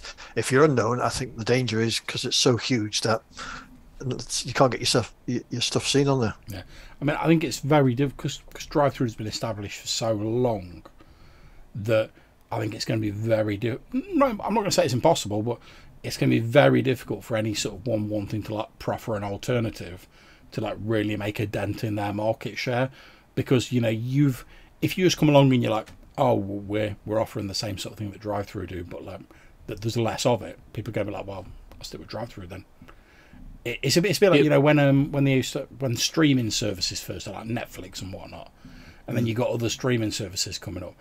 They only started making a dent in Netflix when they started going like, oh, we're offering this different type of TV program that you can't get on Netflix. Yeah, so yeah. I think anyone who's trying to make a dent in like DriveThru's market share, they're going to need to offer something that DriveThru doesn't offer to like get people interested. And I don't know what that is to be honest. Hmm. Some sometimes companies will just do something silly, won't they? They'll either become complacent or they'll start. They make a bad choice and be and, and become disrespectful of their customers in some way. It would take something like a major faux pas by someone high up that that could bring down a company. An example in the UK, business wise, would be the likes of Ratner's, the Mm. jewelers, the high street jewelers that just kind of come out and basically called their customers uh, morons. Yeah. Uh, and, and I think they more or less vanished overnight. Mm. Uh, it's sort of something like that, you know, some some big faux pas like So- the, the type of drama that all too The, uh, often crops up in I mean, RPGs. I, I haven't used uh, Roll Twenty for a couple of years, but I know certainly when I used it last, I thought it was like certainly then it was slow, uh, laggy, very outdated.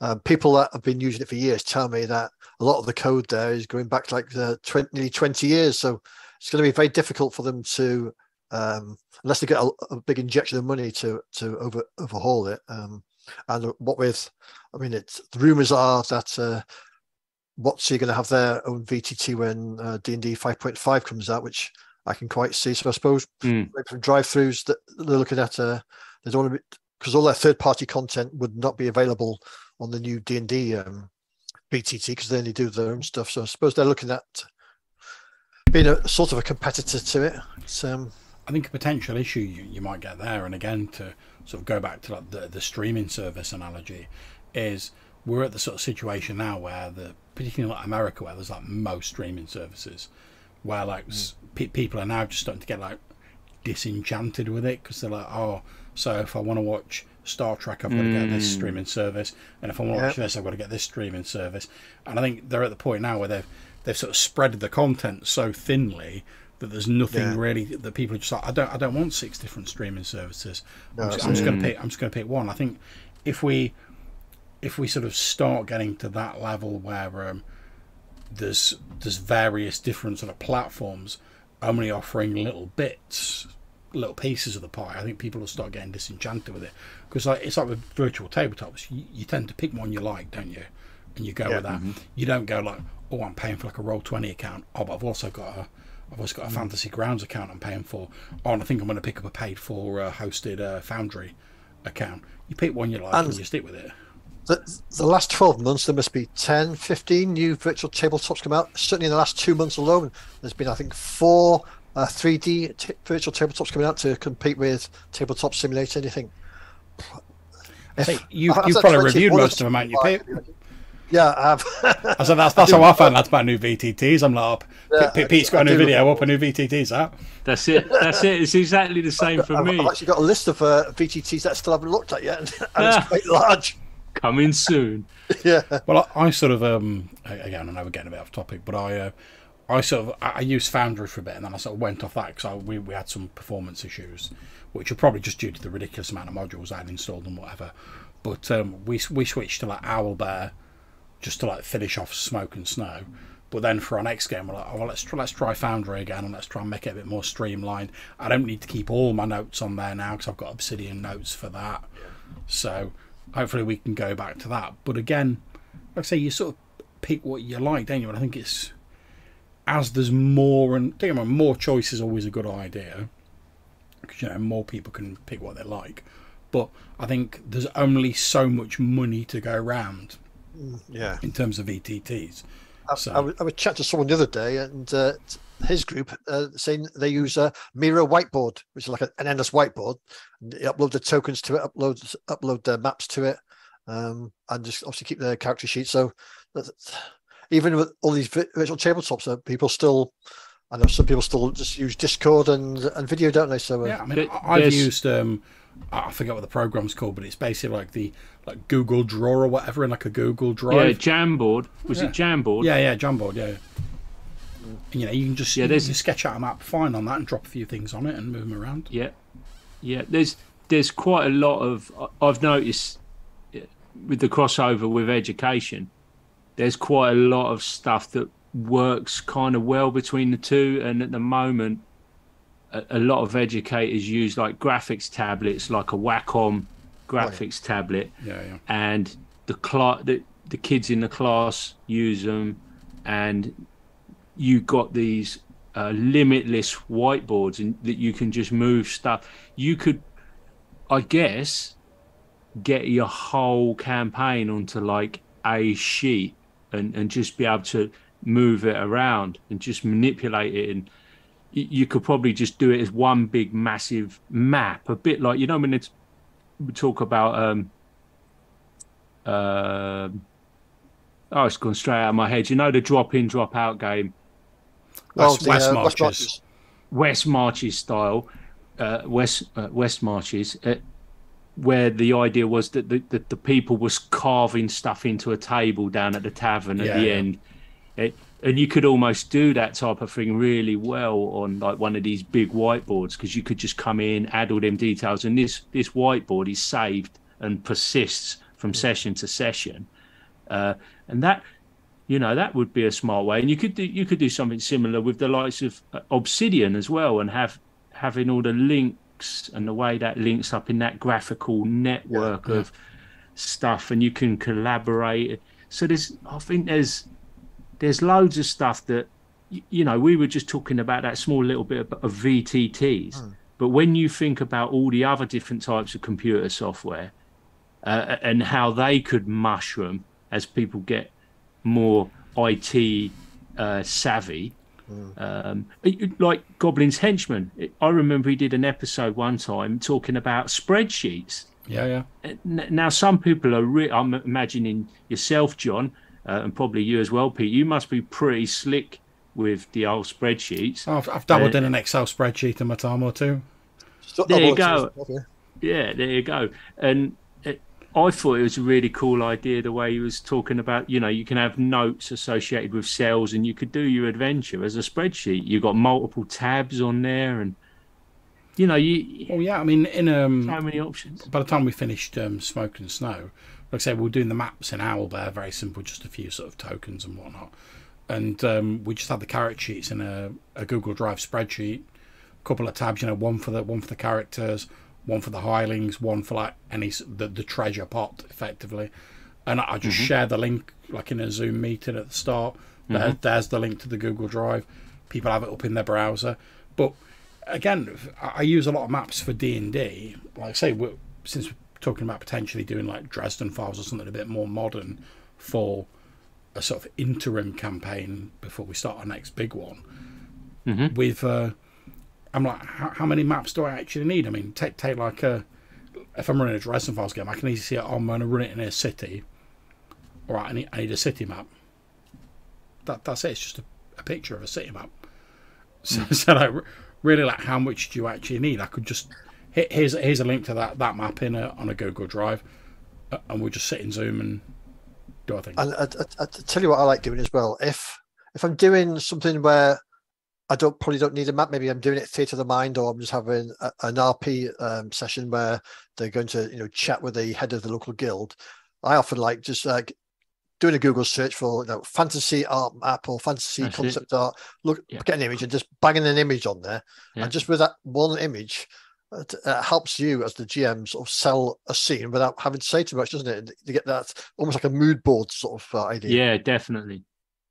Definitely. And do you want to have to faff about getting it? I mean, I don't know how much hassle, but uh, it's, well, for Owlbear Rodeo and um, Runehammer, just doing that is super easy. But you, you you could do that in um, And and the other thing I've a- been anything using- screen share yeah, on I Zoom. did it uh, with um, Dungeon Alchemist. I wanted uh, they were going to see a, a dying man in his bedroom, so I just auto-generated a bedroom map in there in 3D, tilted it, took a, a screenshot of the computer, and banged that on there, and took less than a, less than a minute to do cu- custom room, and it just gives it a bit of flavour.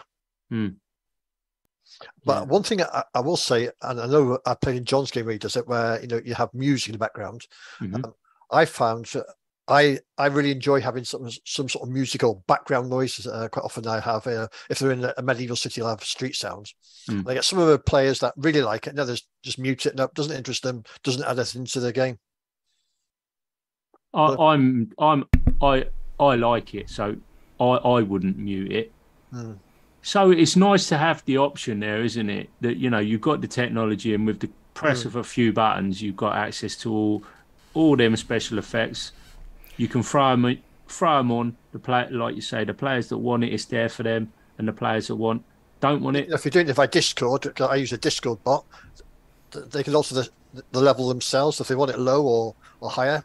They got options to it, but I, I think you know stuff like that. I'd uh, I quite giving the option to players because then it helps with their immersion. If, if they're not interested in it, fine. Uh, Hmm. Another thing I like, especially for in-person games, is uh, handouts. Mm, uh, you know, if they yeah. find a letter, getting an old scroll out, I'll, I'll Mm. type it out on some parchment paper and I might burn it, spread some coffee on it, crumple it up a bit, and it's sort of if you've got something tactile in the hands. Sometimes it again though, helps. i i even even if you're doing an online game, you can still like I'll quite often. Yeah. You, know, you go online, you feel like a parchment background. I can like put it into Photoshop or whatever, put my text on it. You know, Mm-hmm. if it's a if it's like a, a weird sort of arcane like scroll they've got to decipher, you, can find like a weird symbol font and like change the text and then save a couple of different versions of it and stuff like that. And I mean, I think to, to come back to the sort of like the main subject of like finding the fun, one of the things that hmm. keep keeps me coming back to to RPGs is the fact that it's always changing and it's always sort of moving on with the times. There's, I mean, David, like I say, I, I love the old games, absolutely great, but there's also all of this technology and all of this new stuff that I never even dreamed of when I first got into the hobby that you can use or not as you see fit. Like I say, you don't need it, but if you want to get into that, there's all these different options there. And another thing is, let, let's face it, the, the the three of us now. I mean, I've been GMing since like my teens, and I'm like what 42 this year, and I'm still interested. I know, yeah. I'm still I'm still like interested and like enthusiastic about these new developments and talking about books and stuff like that. And I can't honestly think of another hobby or sort of leisure activity where for like 30 plus years I'm still as excited about it now as I was when I first got into it. Like like um, Colin was saying, I used to love doing a bit of drawing, a bit of writing and stuff like that when I was younger, but that hasn't really sort of lasted in the same way for me that RPGs have, and I think that's because it has the the element of you know getting involved with other people and it being a social activity. It's not just me sat writing in a room or drawing in a room or whatever. But like I said, I can't think of any other hobbies that have held my interest for that length of time. Uh, you know, you talk about uh, RPGs adopting, uh, you know, the new technologies. I think they, as technology has changed, they've been at the forefront. You know, PDFs, um, online rules, um, even such things now as diversity. I think the RPG hobby probably welcomes diversity more than any other hobby out there. It, it, it doesn't matter uh, what your gender is, what your color is. There's, there's games been written for all interests, uh, all sexualities, all. It's just there's something there for everyone, and I think very few hobbies that you can find that no matter what your interests, your persuasions, or whatever, there is there is something there for you. And not only that, is there is like-minded people that are there that uh, you, know, you can find. Yeah, and as we said earlier, what, whatever your whatever your particular flavour is, there's there's going to be a game and a group of people out there that you can enjoy gaming with. And yeah, it, it might take you a while to find people, but it's never been as easy as it is now, like with with the internet and stuff like that that we've been saying, for you to find people who share similar role play related interests as yourself. I mean, there's always there's always people like trying to start games, trying to find players for games, trying to get into games and stuff like that. And yeah, okay, it can be a bit of a slog sometimes, but mm. compared to compared to like when I started, and it was like, okay, yeah, you've basically got the the pool of people in your like little town, uh, and that that's who that's who you're stuck with. So, you know, and, everybody else the town went, nerds, stay away from them. yeah, and, and it's like it was just one of the things that sort of like blew my mind when I first got into sort of doing YouTube videos online like years ago and uh, getting involved with like playing in games that people were running online. It's because previously my sort of pool of gamers had been like, because I live in a small town, I've been like six people, and it was like if you didn't want to game with those six people, where you're at, look. Yeah, yeah. So whereas now, like you say, if you've got an internet connection, you can go online and you can easily find a game to jump in with many I, and various I never, people so when I started gaming back sort of late seventies, early eighties, if you'd said to me that one day gaming would be cool, I went, nah, that's never gonna happen. It's gonna, but it is. You know, uh, there's t-shirts being made. It's on, you know, on TV shows. It's on the biggest streaming uh, platforms. Of you know, I just can't believe how the hobby has uh, taken off. Yeah, I do wonder how much of that is due to the fact that obviously the the people who sort of like played the games when they were young are now the people sort of writing the games mm, or mm, calling the or, shots. Yeah, or sort of do, doing other things within sort of creative media. And something else I heard uh, the other day was uh, we're now uh, that we've got a generation of gamers who are second generation or second and third generation. Not only did their fathers play, but their grandfathers played as well, and that's probably one of the few hobbies where games have been handed down from grandfather to son, and from son to grandson now. I, I always think that's amazing because like none of the rest of my family were like really into like gaming, oh. but um, as you guys know, I like to do a, a, bit of larping now and again, and uh, there's the events we go to. There's people who've been sort of like bringing their kids, and like their kids mm. are now like grown up, and we've sort of known them since they were like tiny, and you know you've you see them sort of like a few events every year, and they're now grown up, and some of them are bringing their kids to the events. Mm. And like I say, it's just mind blowing when you think about it. Cause I, would have loved like back in the day if like my mm. parents had been like into gaming, or you know would have taken me to like a LARP event or like something like that. And I, I, I do think that like so as a bit of a sort of older and inverted commas like gamer, yeah, the tendency is just be like, oh well, you know, we we didn't have any of that. We oh, they got it so easy, you know. They should should be mm. like they, they don't know the struggles we went through when we were all being called nerds and whatever. but um, I was thinking, oh, forget forget that. I'd have loved it mm. if like gaming would have been as popular as it is now when I was young. Yeah, I just I just can't understand some of the old gamers. I mean, I'm probably the age of some of them uh, who are intolerant of the changes in the hobby. I, I just think you've got to move with the times. If you want to still play your old games, you can do that. Nobody's taking it off you. But yeah, don't enjoy the fun of people, other people that are joining. Because it's not really, it's not really changing, is it? It's it's an evolution that's hmm. going on, and uh, well, it's not even an evolution because the old stuff is still there. It hasn't ceased to exist no one's just- taking your books off you, have they? no one's taking your book. It's just new f- things have come along, um, and I, I don't understand. I don't really understand the animosity. I don't know. Is it like a defensive thing going on? You know, because it was a struggle, and uh, gamers were definitely victimised back in back in the day. Um, and is there a little bit of uh, animosity because younger get is it felt by some that younger gamers haven't really earned their spurs and they're just getting a free ticket into the hobby which i don't i don't really understand. It's you know it's just different times and i why should they have to struggle? You want you want it to be welcoming. Um i, I, mean, don't, I don't know if it's that and, and and like no one's taking the books away. I mean- Uh, is it because it's not the current the current thing and they want the old thing to be the current thing and be Yeah, in maybe, a yeah. prime position i don't I, I can so- I can sort of understand it a bit because any any time through like and I'm, I'm not a history expert but any time through like history whether it be like technology sort of social changes or whatever whenever there's been any sort of like big change in anything there there's always people who are sort of like oh well you know I, I like things the way they are and I'd like them to stay the way they are. And I think so certainly with technology as time's moved on that change has accelerated so much that whereas it was like in the past you might be like oh we- we've got this bit of this bit of technology coming in. All right you know it's not going to change for like the next like 20 years or whatever. Oh, we're still going to have horses and carts in like 20 years. It's going to be fine. And then like gradual change coming in.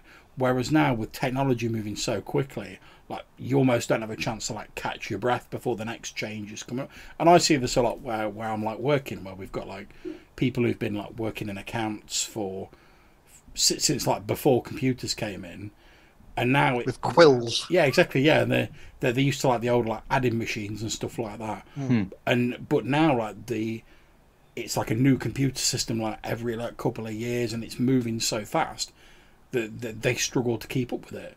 And and I can understand going like, oh, I under the, the sort of uh, I suppose fear of going like, oh well, you know, for the past umpteen years, I sort of knew everything about this, and I knew where I was, and I knew what to do. Whereas now, like, I just can't wrap my head around this stuff, and like by the time I have, it'll have changed again.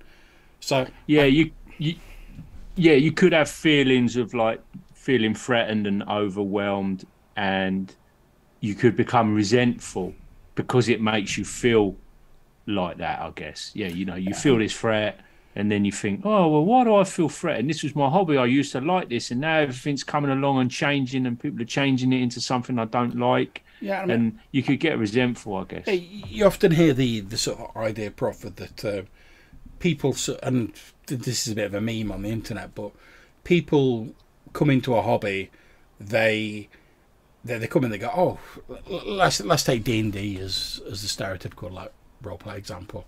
So like me as like a young whippersnapper come to you like Colin, and I'm like, oh, I've heard, I've heard about this uh, this cool D and D game you're running. Can I like can I like join in and play it?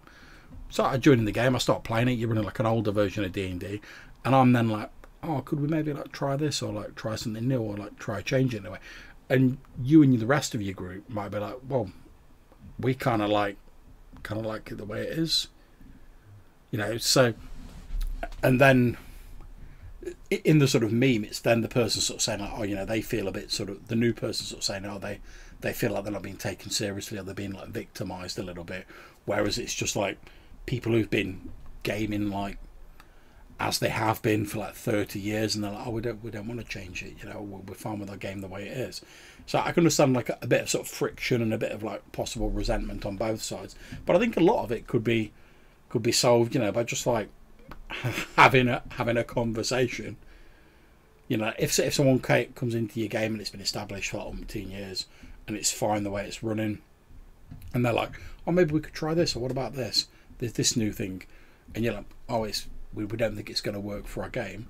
Maybe like suggest they like run a one shot or maybe you go oh i tell you what we'll we'll do a couple of one shots and we'll try the idea see if it works. And then if it does maybe we do bring it into the game. If it doesn't no harm done. It's just a couple of one shots. So i think I think it's the the sort of initial sort of like shock factor of like you know someone comes in and says like sort of implies probably not meaning to but implies there's something wrong with the way you're doing things at the minute that people just tend to like the instinctive reaction is what's wrong with what I'm doing at the minute it's been working fine up to now and I can understand that I, I'm guilty of doing that myself yeah well like I said earlier when when I see like a new like random like furry racers like come out for D and D and I'll just be like, oh, really though? Like, like when they when they when they brought out the Teenage Mutant Ninja Turtle race, and mm. and I was like, really? Mm. But, but, yeah, but, I mean, it's in our game. I said, yeah, no Dragonborn in my game. Not a thing in mine. If, if you want to play them, join the game. But for me, and it's e- it's easy to hand wave in it at the end of the day. But yeah, talking of one shots, I think uh, one shots is a great way of keeping the fun. I mean, especially if you've, especially if you've had, you know, like Johnson had a long campaign, you've run for maybe two years, run two or three one shots, get palate cleanser, a pal- palate cleanser, isn't it? Yeah, it is. Yeah, and sometimes you have a one shot, you think, actually, I quite like that. I'd like to do more of that, or you think, I've tried it, yeah, it's not for me. But you've tried haven't you? Yeah, I mean, as I said earlier, that's what we're sort of doing with our. Uh, now we've finished Smoke and Snow because we've been we've been doing like an OSE campaign for like nearly two years like umpteen hours played in it, so like 40, 50 odd like sessions played in it. And we were like, well, we, we, we want to do something a bit different, a bit of a change of pace, not just jump straight into more D&D. Or we don't want to do a big, long running campaign because we've just done one. And we're like, oh, well, how about we just do like a, a short term, like Dresden Files accelerated campaign? Bit, bit of fate, something like, like you said, like a bit of a palate cleanser. Didn't your Burning Wheels uh, campaign finish recently as well? Yeah, yeah. And um, Johannes who ran that because that's quite involved. He was mm. like, "All right, I'm gonna need, I'm gonna have a month off." So I was like, "Oh, okay. Well, I'll, I might run a few one shots in the same slot, you know, just to keep things going." And um, after he's had a month off, he's like floated a few ideas for various games, and he's going to come back, you know, once he's had a bit of a break and he's caught his breath, and we'll we'll go on to something else. But again, that might not be another massive like long running campaign. Mm because they say, and again, that that is another thing that does keep me coming back to RPGs, and that does keep it fun for me. The fact that it's it's not one sort of mode of playing. It's not like right, you have you have to play all long running D and D campaigns. That's how the mm. game works. It's like you want to play some one shots, you want to play some modern stuff, you want to change the genre that you're playing in, you want to you want to just play like a short little finite campaign where you're like, oh, okay, we're going to uh, we're going to go on like a, a D&D campaign. We're going to play levels one to three, whatever.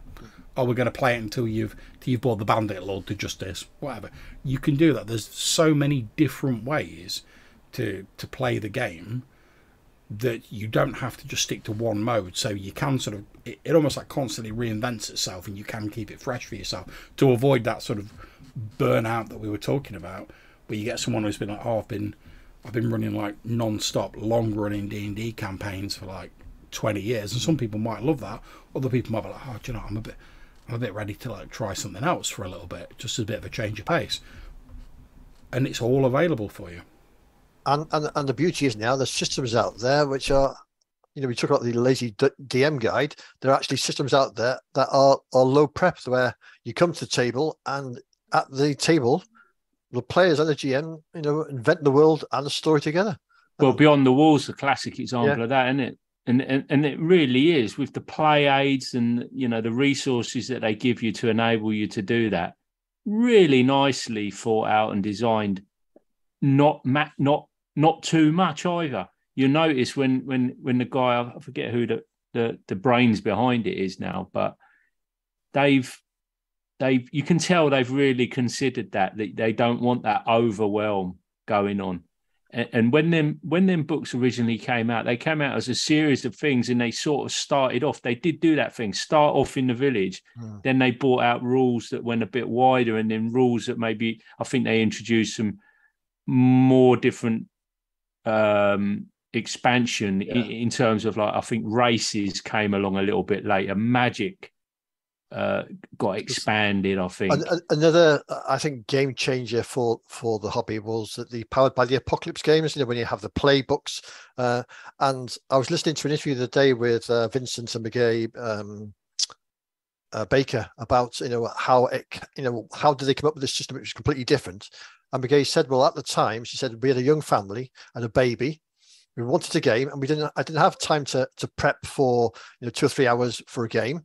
We didn't have three four hours game time. Uh, we had maybe a couple of hours that was, we were going to game fun before the kids woke up. So I needed something quick, short, snappy that I could just whap out, get on, and, and play the game. And who, you know, they had no idea that it was going to be sort of a you know a big game changer. But for them, it was just it was a solution to a problem that they had with gaming. Mm. And it's obviously lots of other people had the same sort of uh, the issues that maybe they, haven't got time to spend two or three days in a week prepping for your Wednesday night game or whatever. Um, you, get it on the table, and uh, I know some people really enjoy the story uh, storytelling side of it. Uh, you get others that are. I, I know there's places out there. Uh, you're the GM. You you provide me the story, and I'll, I'll interact with it. I mean, but I don't know. I don't know how you play without creating a story because every time you, you sit down in a session, things happen. You, have ended up with a story, whether you want to call it that or not. There, has been a course of events. Yeah. There's a tale to be told of some description. I, I can't see how.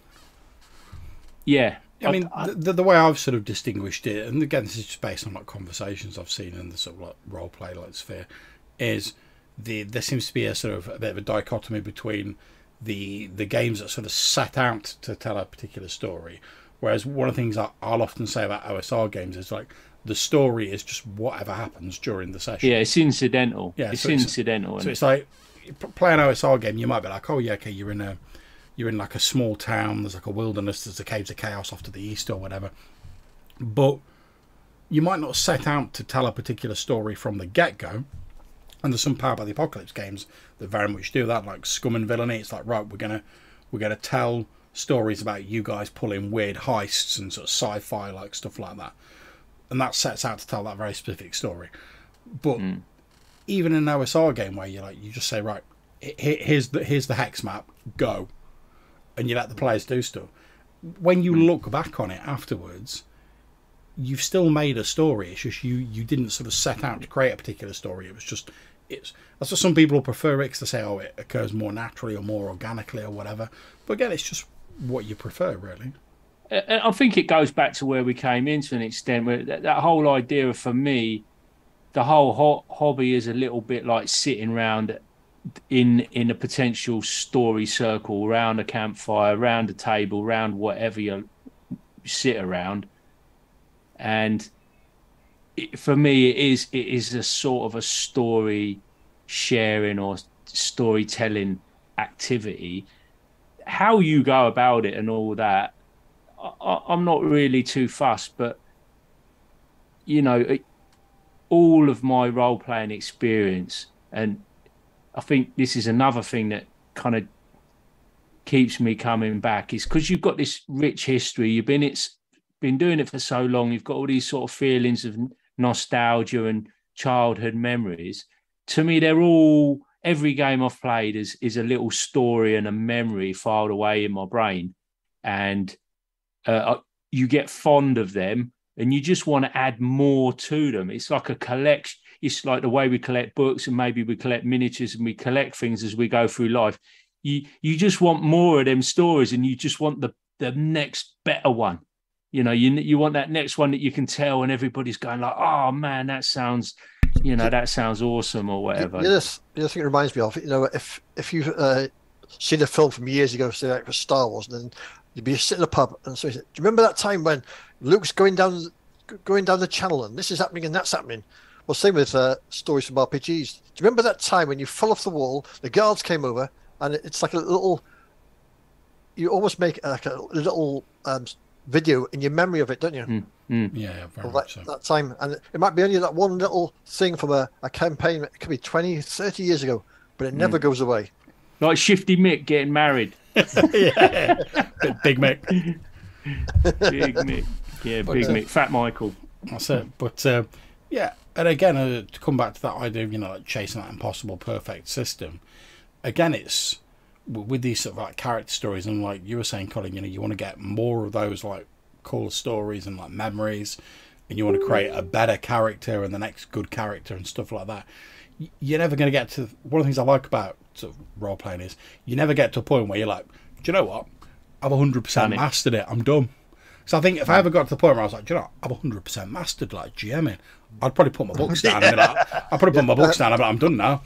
Uh, and, and, I, would I'd cue the um, littlest hobo and, end theme music and I'd like walk off into the distance.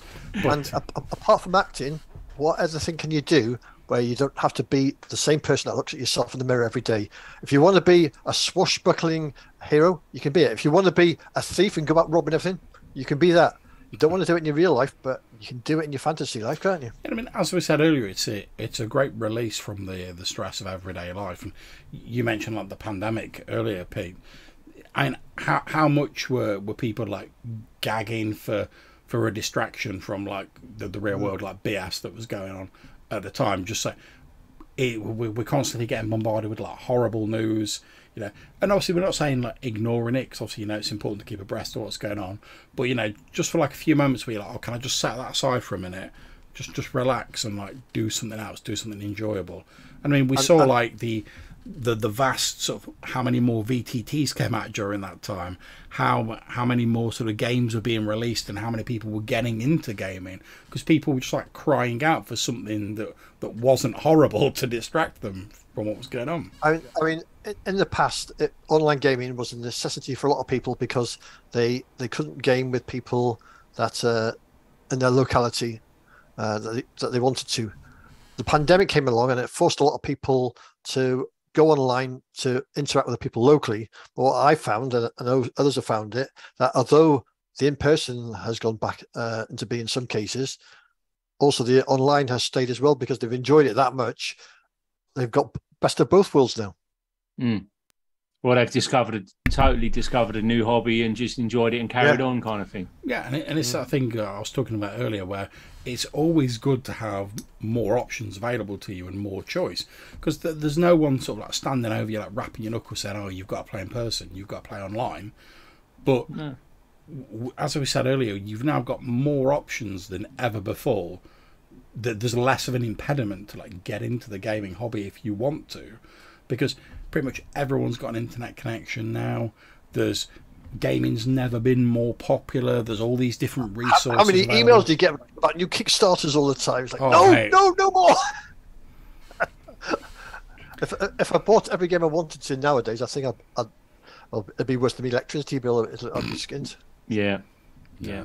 You know, right. I, th- I think I think that I think the trouble is when you get so many options and you get this uh, this thing cropped up recently, this idea of the long tail, yeah. where content is you've got a certain amount right at the front end that's making the money, but then there's this almost infinite tailing off of attention or or whatever um, whatever you're measuring. Uh, this the, the problem there is you things can get a little bit messy where people are trying they're vying for the attention and we're in an attention economy. Yeah. And i, th- I think that's that's where we're getting some of this um, some of the more the negative side the more off-putting side because to get attention there's nothing like stirring up a, a, a bit of controversy. Yeah. like if if you're controversial uh, or, or you you're going to present a polarizing opinion you're gonna you're gonna get more attention than, than someone that's just kind of being chill about something, or you're kind of like in the middle of the road. You're not you're not extreme one way or the other, and that's I don't know what the answer to that is. That's a bit of a shame because I'd like I'd like to not have to trawl through loads of um, sensational kind of YouTubey stuff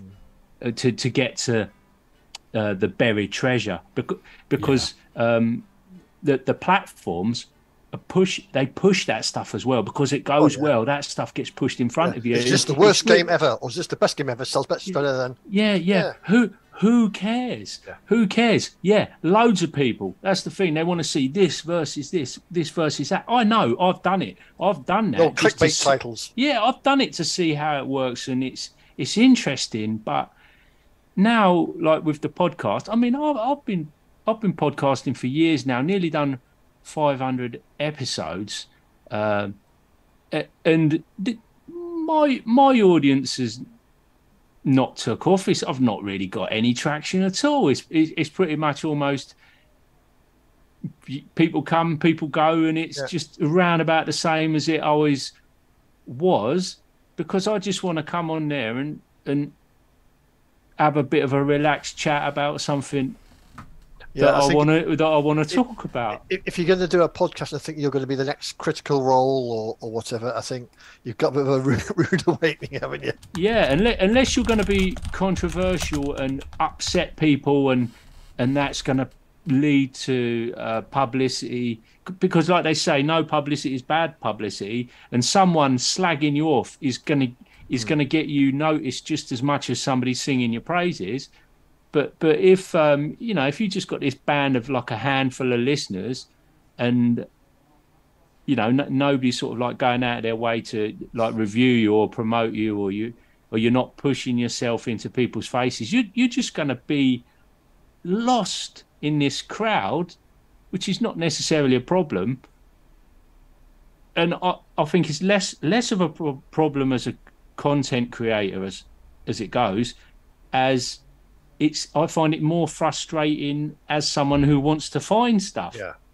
That can be really difficult, you know, especially Or, or, or the other thing I find is you find a podcast or a YouTube channel or something that really grabs you, and then it stops. That they, they get fed up or think, oh no, Yeah, because maybe they got into it because they thought it was gonna they're gonna take off and be famous. I mean, so many of them. Maybe what do maybe five episodes? They come. They're really keen at the beginning, and then it, it just tails off. And I mean, that's fair. I can understand that. People do it. They perhaps don't realise what's involved. Um, a- a- and it and it just goes away. Like life comes life comes along, but really, it it doesn't. It doesn't take that much to record. the, the, the hardest thing I find is is uh, like you is, is finding good new content. Yeah, yeah, and I I, I fail at that frequently. Oh yeah, some, sometimes so I just chat. I just say I'm. I just say what I'm up to. It's just like a journal kind of thing. uh, sometimes you, you you listen to a podcast and, and it's something gets mentioned and you think oh what and, you, and then you'll, you'll find something else different content by accident which is gold you think why doesn't anybody else know about it man? Yeah, you you could. You could spend ages coming up with, uh, and people do. You know, they, Oh, yeah. pe- people they put a lot of time into it. They they, they find some really interesting idea and that.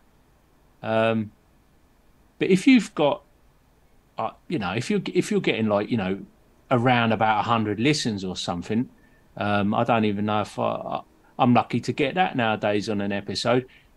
Um, and you're getting that regardless of what you what you do.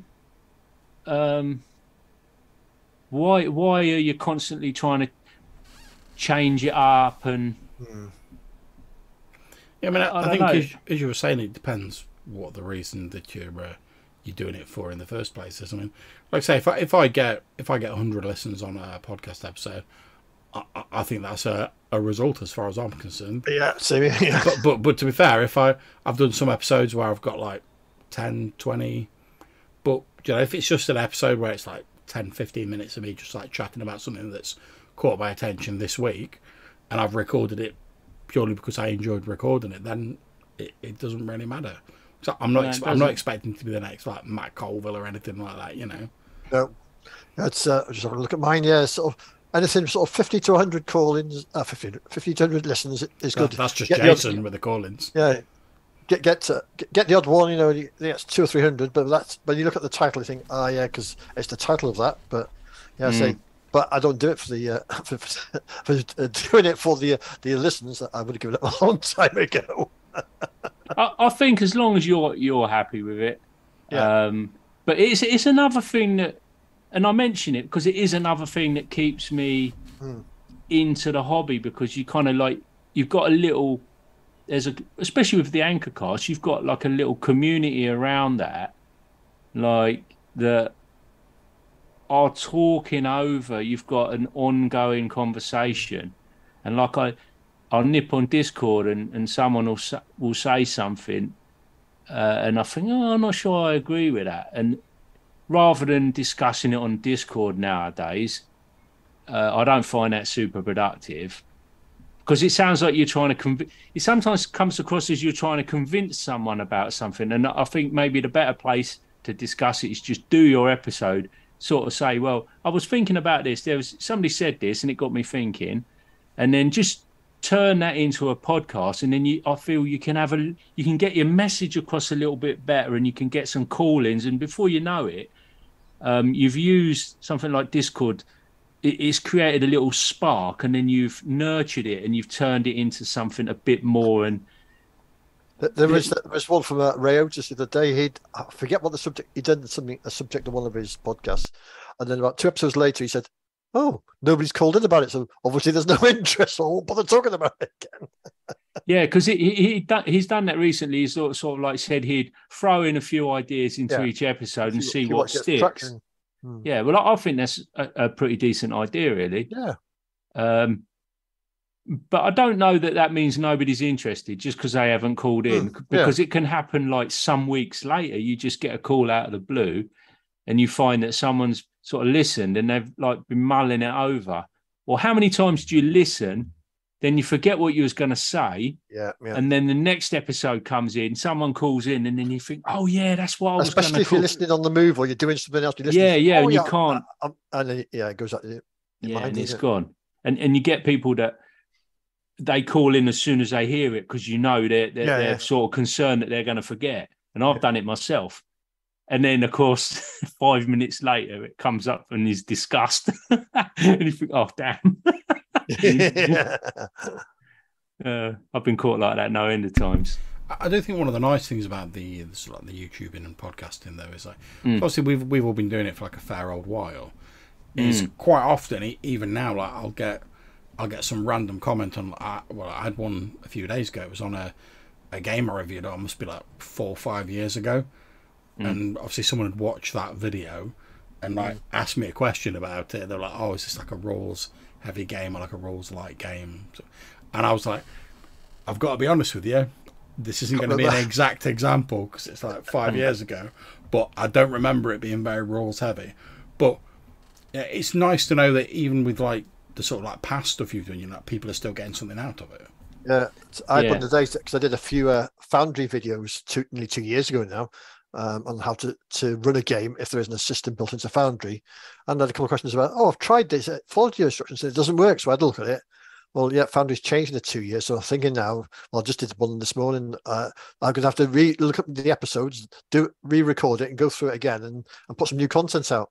But mm. uh, yeah, it's uh, it's it's surprising. You know, people, as you said, John, people still look at stuff that you did years ago, and you've it's, it's back there, isn't it? You, I mean, you've done it, and you've you've moved on. I th- I some of the, some of those topics are evergreen, aren't they? Some yes, of them topics are, yeah. are, evergreen topics, and it's good. It's good to see they still like, get uh, visited. Uh, uh, like throwing oil, you mean?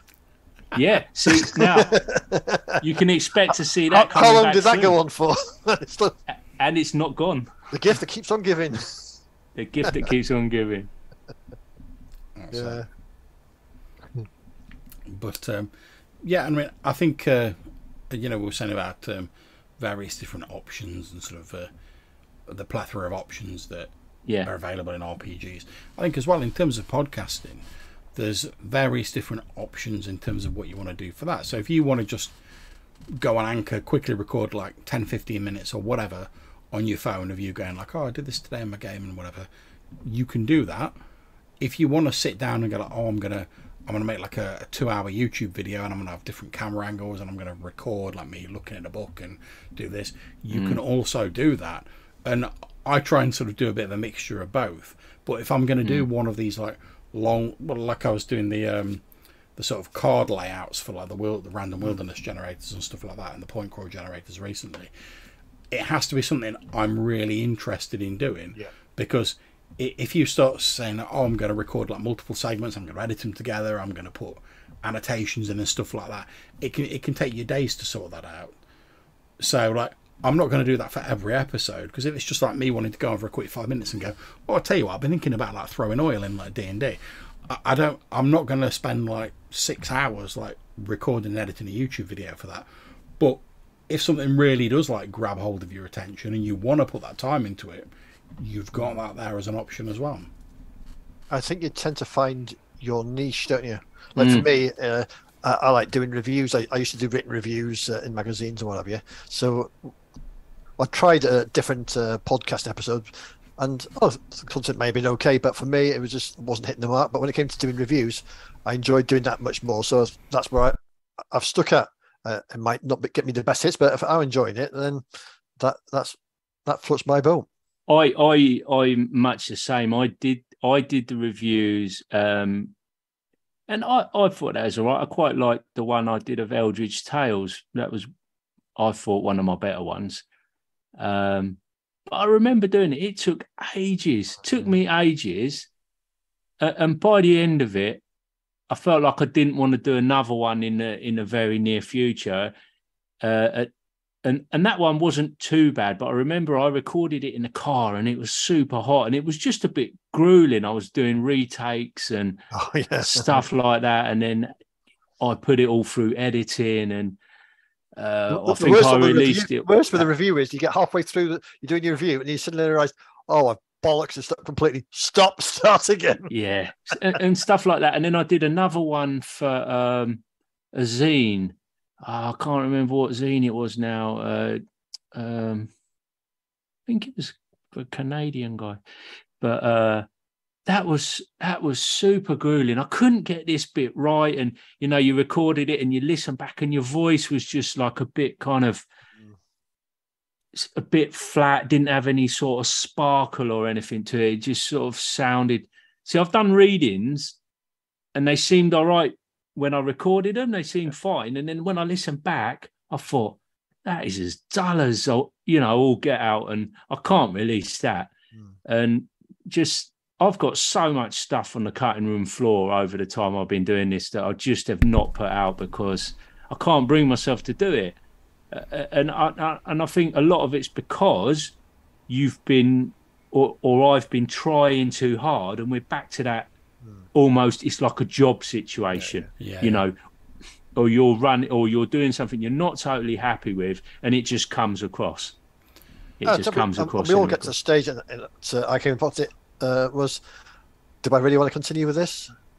Shall I? Shall I just stop and? and yeah. I think we all come to that. Yeah that, that. And some people do stop and walk away and you never touch them again, or, or life changes.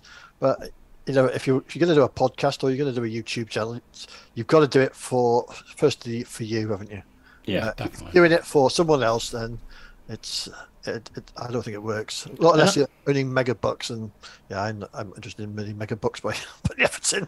I, will tell you the other thing.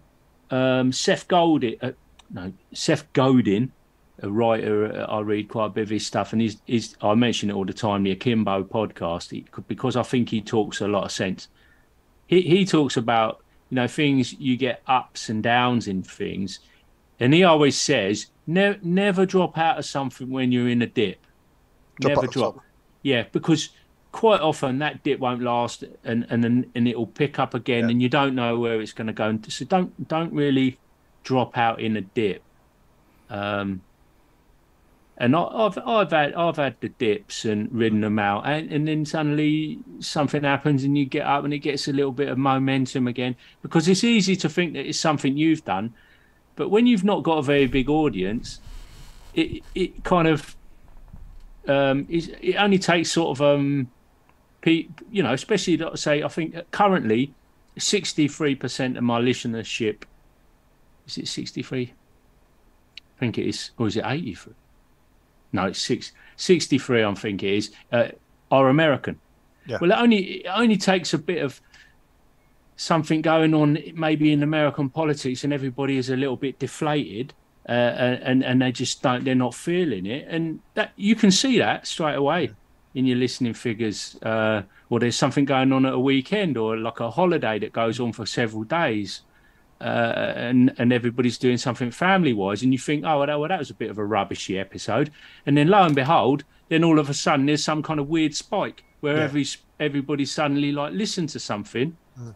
and you thought it, you know, so you can't, you got to be very care, be careful about what you attribute to what. It's like you say, isn't it? It's the again coming back to that finding the fun thing. If you're, yeah. if the fun for you is making it then like a podcast, a YouTube video, whatever it is, then you'll keep doing it because you're entertaining yourself. And, and I've mm. always said like when I do my um, when I do my streamed games like the Smoke and Snow stuff, and I've said a number of times, I mainly stream them so I've got them as a record. If other people like watching them, that's great. But I mainly stream them so I've got them as a record because I find them useful. So mm. I'm not. If no one watches like the latest episode or game I've put, that, that's fine. You know. The, the thing is, I think I think the thing is the listener numbers, and they the companies that do this, they're not silly. They know that it's a convenient metric for you hmm. to kind of evaluate and analyze your project. But but that's a mistake because what you're what you're doing is you're thinking, oh, people have watched that or listened to that. I've got more listeners, therefore that was a better episode. Yeah. Well, that's that's there may be no correlation at all, but because it's an easy metric, you kind of you, you kind of you tell yourself that you think, oh, more listeners, I must be doing better, or I'm doing something better. Or I need to do more of that content. Yeah, I need to do more of that, and that that's got to be. A, if you think about it rationally, that's got to be a mistake. You, you know, the way to figure out if your podcast is better is to go back and listen to episode three, and if it sounds like a sack of rubbish, then you've got better. Yeah, yeah. Uh, but but you don't do that. You sort of like you like look at you maybe you look at numbers and think, oh, more people are listening. Just because there's a graph there, you look at it. It seems. Like, I mean, I just, we, my, I've just looked at my stats now, and that must be the first time in 10, 12 months I've looked at my stats. I just don't bother with them at all. Yeah, but it's a neat. You can see how people do, and they judge yeah. their worth. It's like uh, what is it? What is it? when they say? Um, I know what you're trying to say. Yeah, but yeah, yeah what do you call that? It's almost uh, like a popularity, you know, how, how popular you are, isn't it? Yeah, yeah, yeah. You're, oh, the, you're validating yourself, aren't you? Yeah, validation. So you're looking for like this value, validation to to make you. So the work you're putting in, it validates the work you're doing. But we we've all already said that we do it because we enjoy it. So yeah. it's a bit of a nonsense, but the the the, the, the, the platform is is um, taking advantage of your your kind of instincts to want to see something. See, let's face it, Anchor isn't going to uh, boost any of our, um, our our podcasts and spend money on them because with our listenership, it's not worth it. But equally, YouTube, Critical Role, yeah, we're going to push out every advert going Critical Role because they've already got a million views, two million views. Well, I don't know what they've got, but it earns them more revenue. Yeah, I mean, I think at the end of the day, you know, you're saying that some people do a podcast and then they walk away from it at a certain point you've you've got to like find that enjoyment for yourself mm. or you've just got to set it aside i mean an example for myself is i used to do a lot of um, a lot more than i do now uh, rpg reviews and i would literally like script those out i would spend mm. like a day recording them i'd probably spend like another two three days editing them uploading them all of that sort of malarkey and it just got to stage i was like oh this this just a a slog mm. and I'm like really not enjoying it. And I got to the point where I was like, right, well, I can either just like stop doing reviews or I can try and find a way of doing it that's more enjoyable. So like mm. my reviews now, they're more sort of like, you know, like a casual sort of like flip through a PDF and like talking about what I liked about it and what I didn't. A little bit less scripted. They're a little bit shorter. The the editing's probably not as good, but I'm getting more enjoyment and more fun out of doing them because I think if I'd have stuck with what I was doing on my YouTube channel, I probably still wouldn't be doing videos on it. Yeah. yeah. You just mentioned something made me think the other day. Talking about the long tail. Uh, it cracked me up. How many clones of Ben Milton there are now? Oh yeah, just, just, they just put the book there and just go page by page through yeah. the book with their own commentary, and they probably got interesting things to say but as soon as I see them, I think, really, really, yeah, couldn't um, you have, couldn't you have just thrown it, changed it up a little you bit? You know, um, Bud, the, the, the Scouser that yeah, does it. He was the first. He was like the first. Yeah, well, proper um, clone, Ben, ben had him on his show. He was he was chatting to him, which I thought was really bizarre. it's so it's so funny and and you know you know they've got like oh yeah he's got he's got loads of views if i do it like that i'll get loads of views and maybe they like it maybe they've got something to say and fair play. You know, it is a format that works, and there's yeah. that whole keep it simple, stupid kind of idea. Well, why change it up? Mm. But I, I personally couldn't do it. I'd have to, I'd have to bring something to the table. you know, something a little bit different. They've even got like a wooden table and everything. Yeah, same wooden table. Yeah, yeah. yeah. So funny.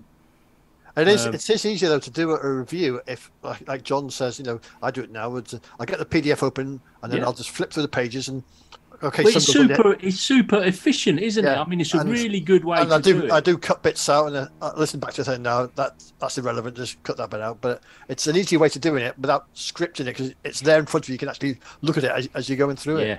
Yeah, Yeah, 'cause it's Because I some- used to script and spend ages doing it. It's Yeah, like, so some of the ones I used to do, I used to spend probably as long, if not more, sort of writing the original script, and then I'd so I'd basically I'd, I'd obviously read through the entire book, making my notes as I went mm-hmm. along, writing my mm-hmm. script, then I'd go through the script again, make like tighten it all up and whatever. Then you've mm-hmm. got to film it, and while you're filming it, as you were saying, Pete, you find bits like, oh, this do, this sounds good on paper, but it doesn't really work in the video. Oh, I'll get Yeah. that out. And then before you know it, like a day, two days have gone, and you know, Oh, easy. you know, oh, well, I've literally at the end of it, I've probably got like an hour video to show. They say, which you're like, oh, okay, yeah, fine. I'm not really doing it for the views, but have I had more fun because I've spent like my entire weekend doing this Yeah. than than if I'd have yeah. just like bo- boshed out the the review in like half an hour. And okay, it probably wouldn't have looked as polished, but I'd Mm-hmm. have probably enjoyed it more and I'd have had more fun filming it. And you know, I'd, I'd have probably like I found now that I'm sort of doing the the shorter reviews, I'm more willing to go like, oh, maybe I'll try like doing this like transition effect, or I'll try something a little bit different here and mm-hmm. there, just as an experiment. Whereas when I was just sort of slogging through review after review, you get to the end of it. Like, oh, I, I don't want to try anything different. I just want to. I've already spent three days, and I just want to get it done, get it wrapped, and get it uploaded to But YouTube. it's, it's it's you know it's like doing the will building for your campaign. How much of that will building is not for your players? It's because you're enjoying designing the system, designing the races, designing the politics. You think, oh yeah, I'm enjoying this, and ninety percent of the time, your players aren't going to find out a fraction of what you're you're doing. But it's the, the enjoyment of of that crafting of your own world, isn't it? it's a whole different aspect of the hobby for sure. And yeah, it gets called the lonely fun. And people do it with their characters as well, don't they? they they'll spend a lot of time on a character and then get killed in the first 30 minutes and, and not care. They don't care because they had their fun. Yeah, You know, that was it. They didn't spend all that time on it because they wanted a character like, that was um, going to live forever. the character just creation enjoy. Traveller. Some people enjoyed the character creation and, and never went on to play the game because they just enjoyed the character creation so much and getting a really obscure character, making some design choices, and, and that was the game for them. Let's, Yeah. let's design characters. Yeah. Okay, guys. Well, we've been chatting about finding the fun for about two hours. Has anyone got anything else they want to bring up? Yeah, this No, was I was- This I was, was- This was no fun at all for myself.